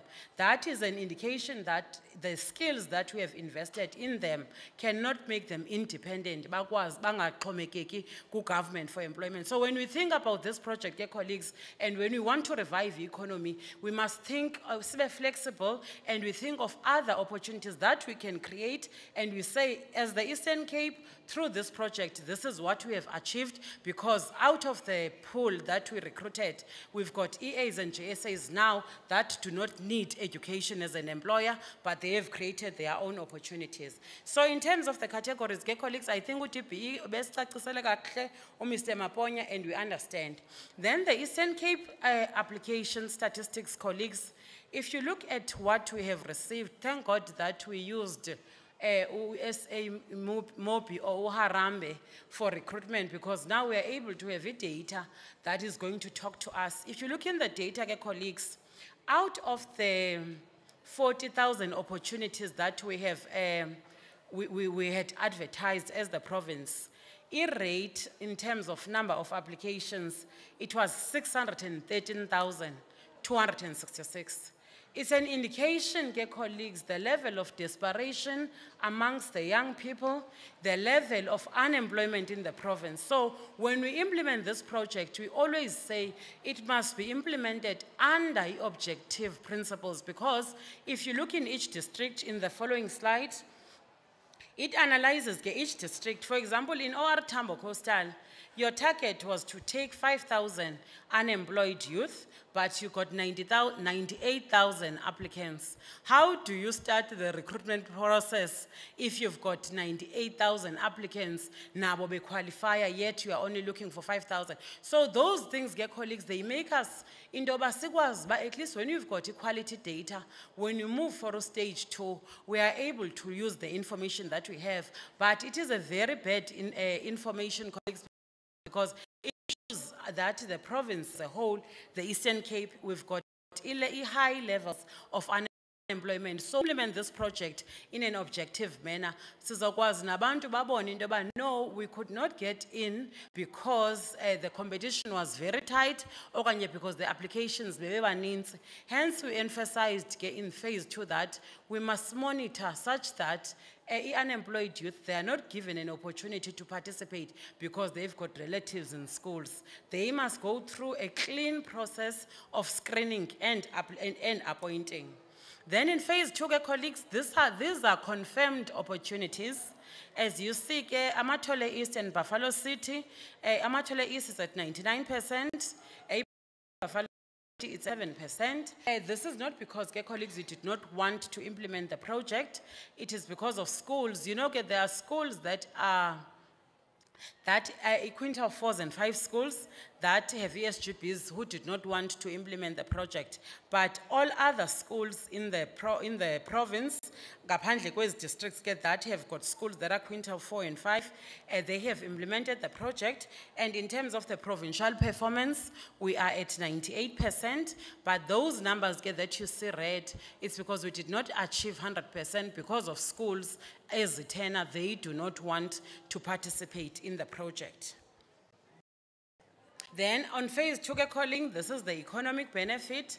Eh, on monthly basis, ke colleagues, we are not investing less than hundred million eh, as the project in the districts through the implementation of stipends. So if you look, eh, you zoom into your district, you will see how much investment we have implement, we have made and achieved as the project from November up until March. So nyani ke colleagues, the reality is that as much as the sector has benefited, economic affairs as well as the treasury, they must take pride in this data presenting because we did not only address teaching and learning, but the project has managed to really achieve the economic uh, recovery strategies that are not necessarily aligned to the, to the Department of Education, which is the, the, the basic education.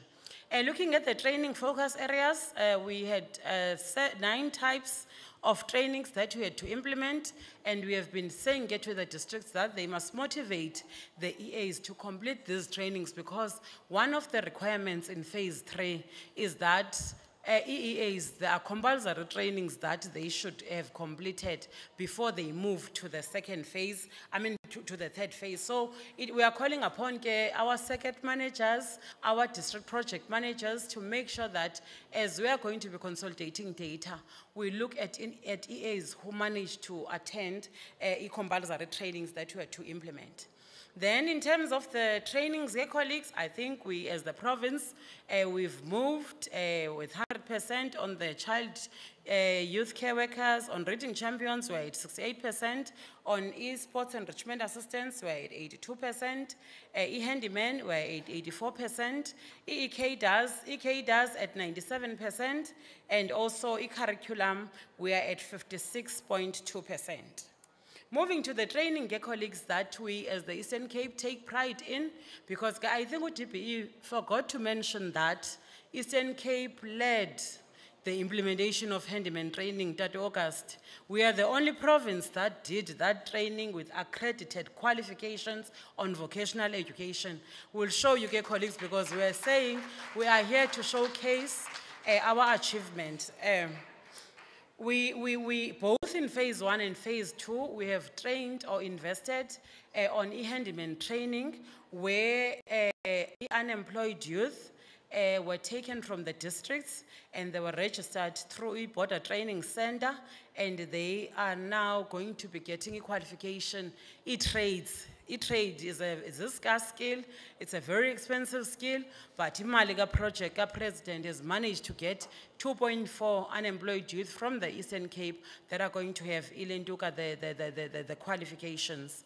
Also, colleagues, uh, through uh, his stakeholders who are giving us a pressure around the, the investment of this handyman for unemployed youth that has got a disability. We do have that training ke targeting 100. It's going to be implemented for disabled, uh, unemployed youth with a disability. Ingo- By 100, it's a special area. A border training center is, is going to be collaborating with uh, you offs to be implementing that training. It's also one of the kind, it is just the Eastern Cape.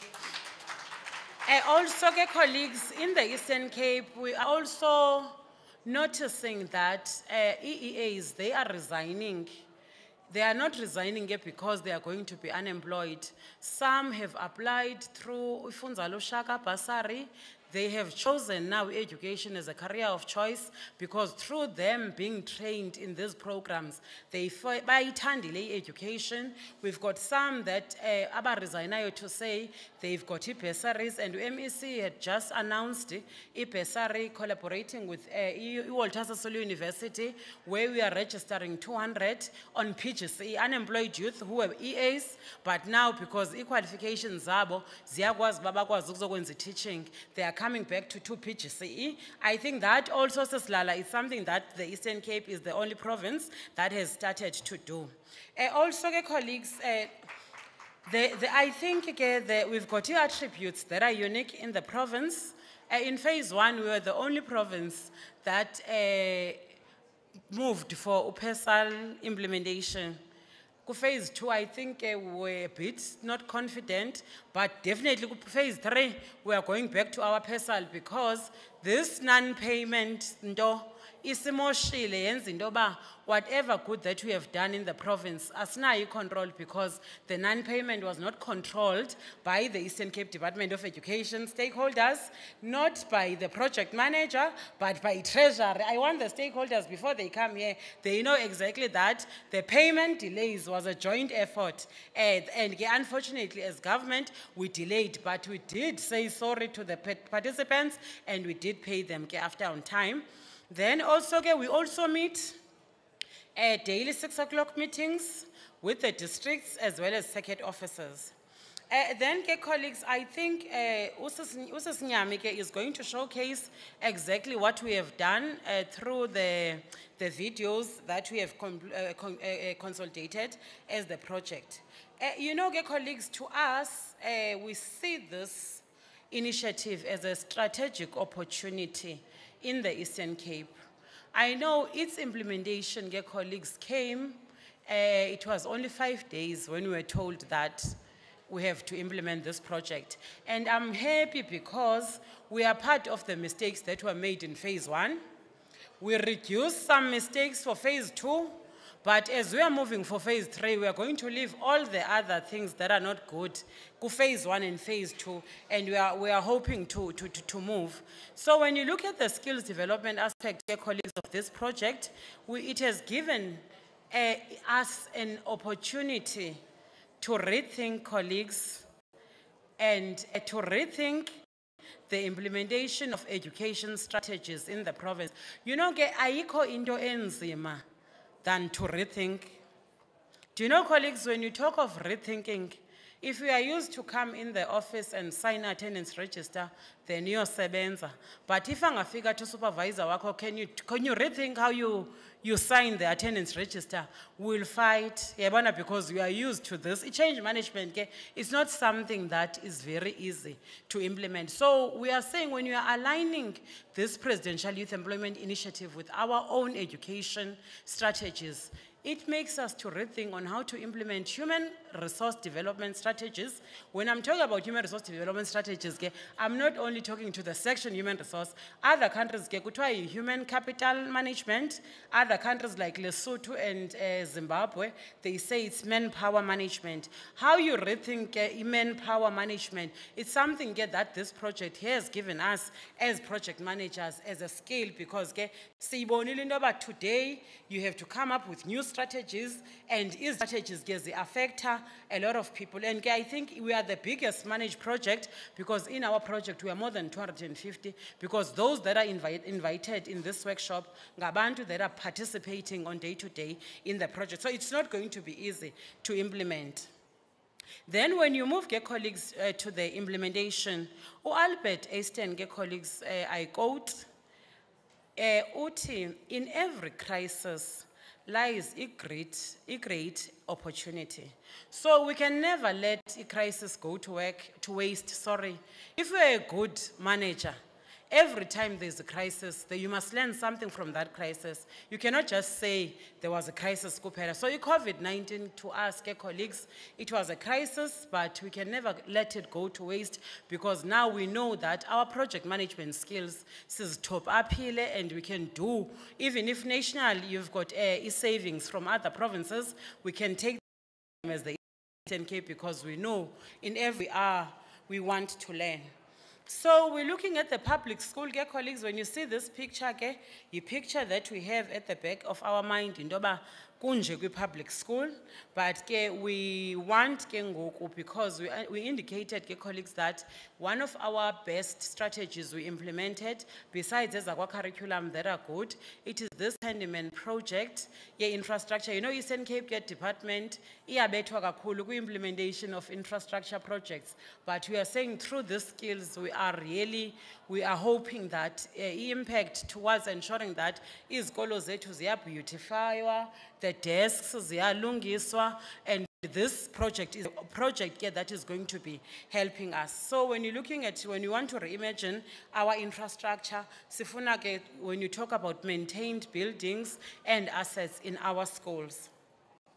Then, colleagues, I think uh, when you're looking at the, the objectives now of the training, uh, we, we, we did, as I indicated, colleagues, we achieved those traits. Uh, if you can move, uh, to slide 45, uh, training outcomes uh, with carpenters in all our regions. We've got e-plumbers, bricklayers, painters, e-amatailana, and as you see, there are trades in terms of the numbers per district. And we were hoping, uh, colleagues, I know infrastructure is here. There is a proposal that we brought as a province to infrastructure when we're analyzing the budget that is sent to schools for maintenance, we were saying to infrastructure, we need to collaborate.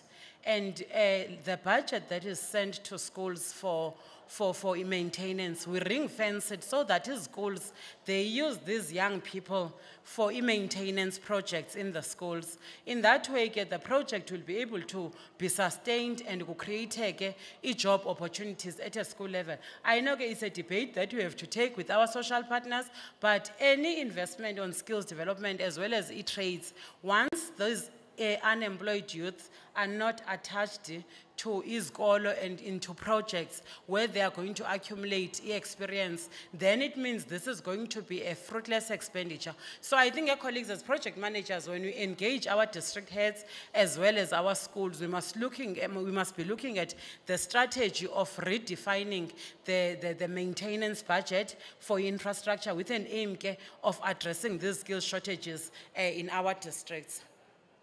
Then I think, colleagues, what we, you see the pictures, uh, it was taken from Lonwabo Primary School as Beleni, uh, EEAs, they were busy there, but paint esisikolo, and they did, they implemented these projects, and also the benefits of the pro projects, plumbing, because what we did with the Border Training Center, uh, for 10 days they would do a theory, then after 10 days they go for practical.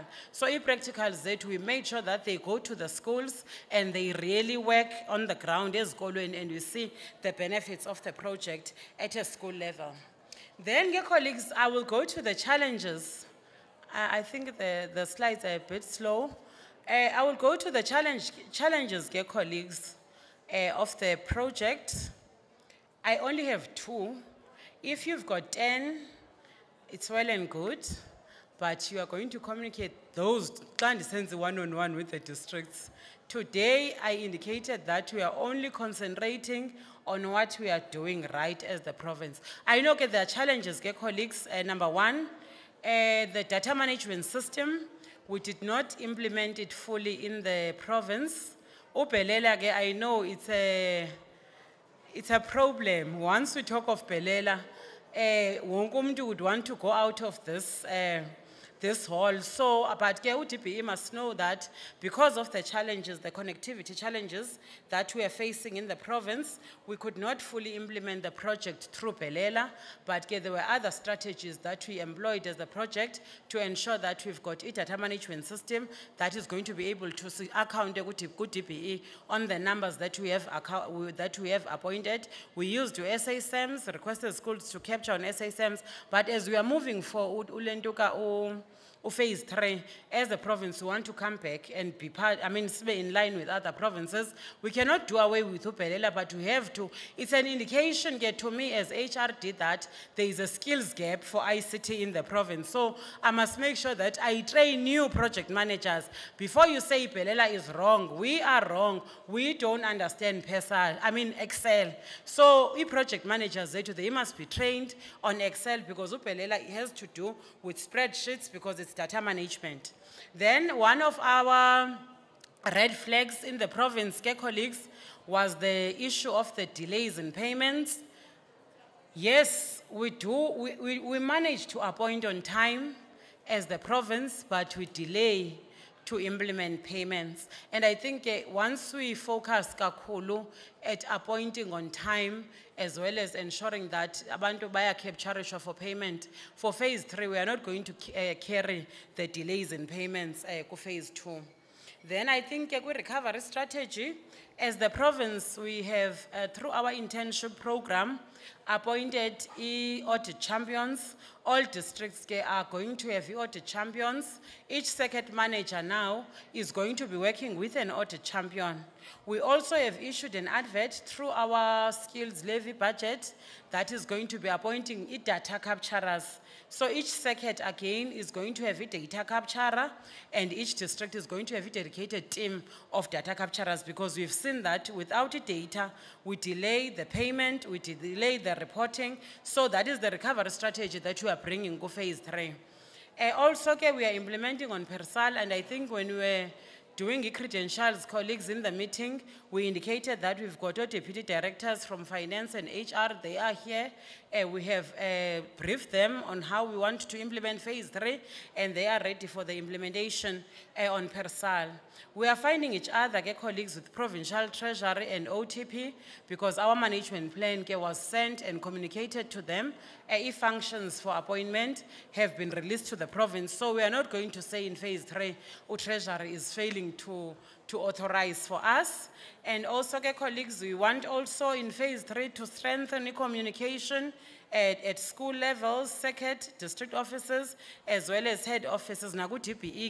We also have to strengthen our communication. When we have problems, UDBE must solve our problems because now the circuits and the districts, when they have problems, they expect me to solve their problems. So now I will just take the, pro the second problems, this is to the principals because UDBE was the principals zethu. Also as a project, as we are moving uh, forward, we want to work hand in glove with our, with our stakeholders. Uh, but dear colleagues, I think on behalf of the project management team, I would like to thank the team from, from UDBE for their support and guidance in the implementation of both phase one and two. Our circuit managers, I know ke circuit managers, Ulukanyo, sometimes I'm called Miss Belela, but ke, we are all working towards ensuring that this project is a success. When they are frustrated, frustration is a kumisbelela, but it's fine because when you are a leader, you are able to take both the assets and liabilities of the project. So I cannot only be happy when you come to tell me good news, I must try to solve your problems. I think on behalf of the project, we also appreciate the district project teams, uh, the district directors, they are supporting, they've got a lot of work to do, but this project is very close to their heart. Our stakeholders, uh, NABO, we really appreciate them because through, throughout the implementation, uh, when we are not doing right, they always call us and Sibuye sends a right. And the provincial project team, uh, thank you very much. That is the end of the presentation. Thank you very much. Uh,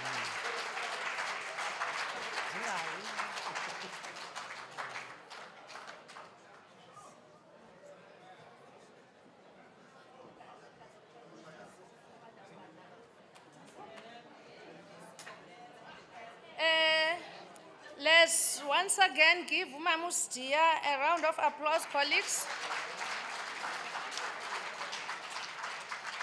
Uh, thank, thank you so much. Uh, we've come now to the end of the second session, and it's time for discussions, questions, comments, and recommendations. Uh, sibuzo phelela ke. There are questions for the six o'clock meetings. Uh, we want the high level questions. Also, we need to have a cup and saucer approach. As you comment or you raise your question, you must also come up with a comment. Thank you so much. I'll start on this side. Are there any hands?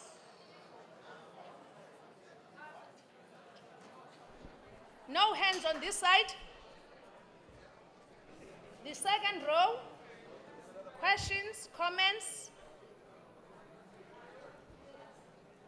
I'm moving on this one. The third row. Questions, comments, recommendations on the presentations. Remember, we are looking on both first session and the second session. Ne? No comments. The fourth row. And the last row. Kukho diesel. Abawomisha kade. We've got one hand.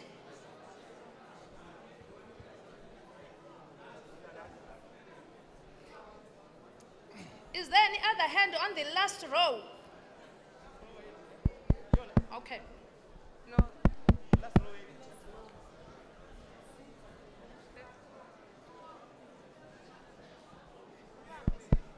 You can also come forward if that mic is not working. Thank you, Chairperson.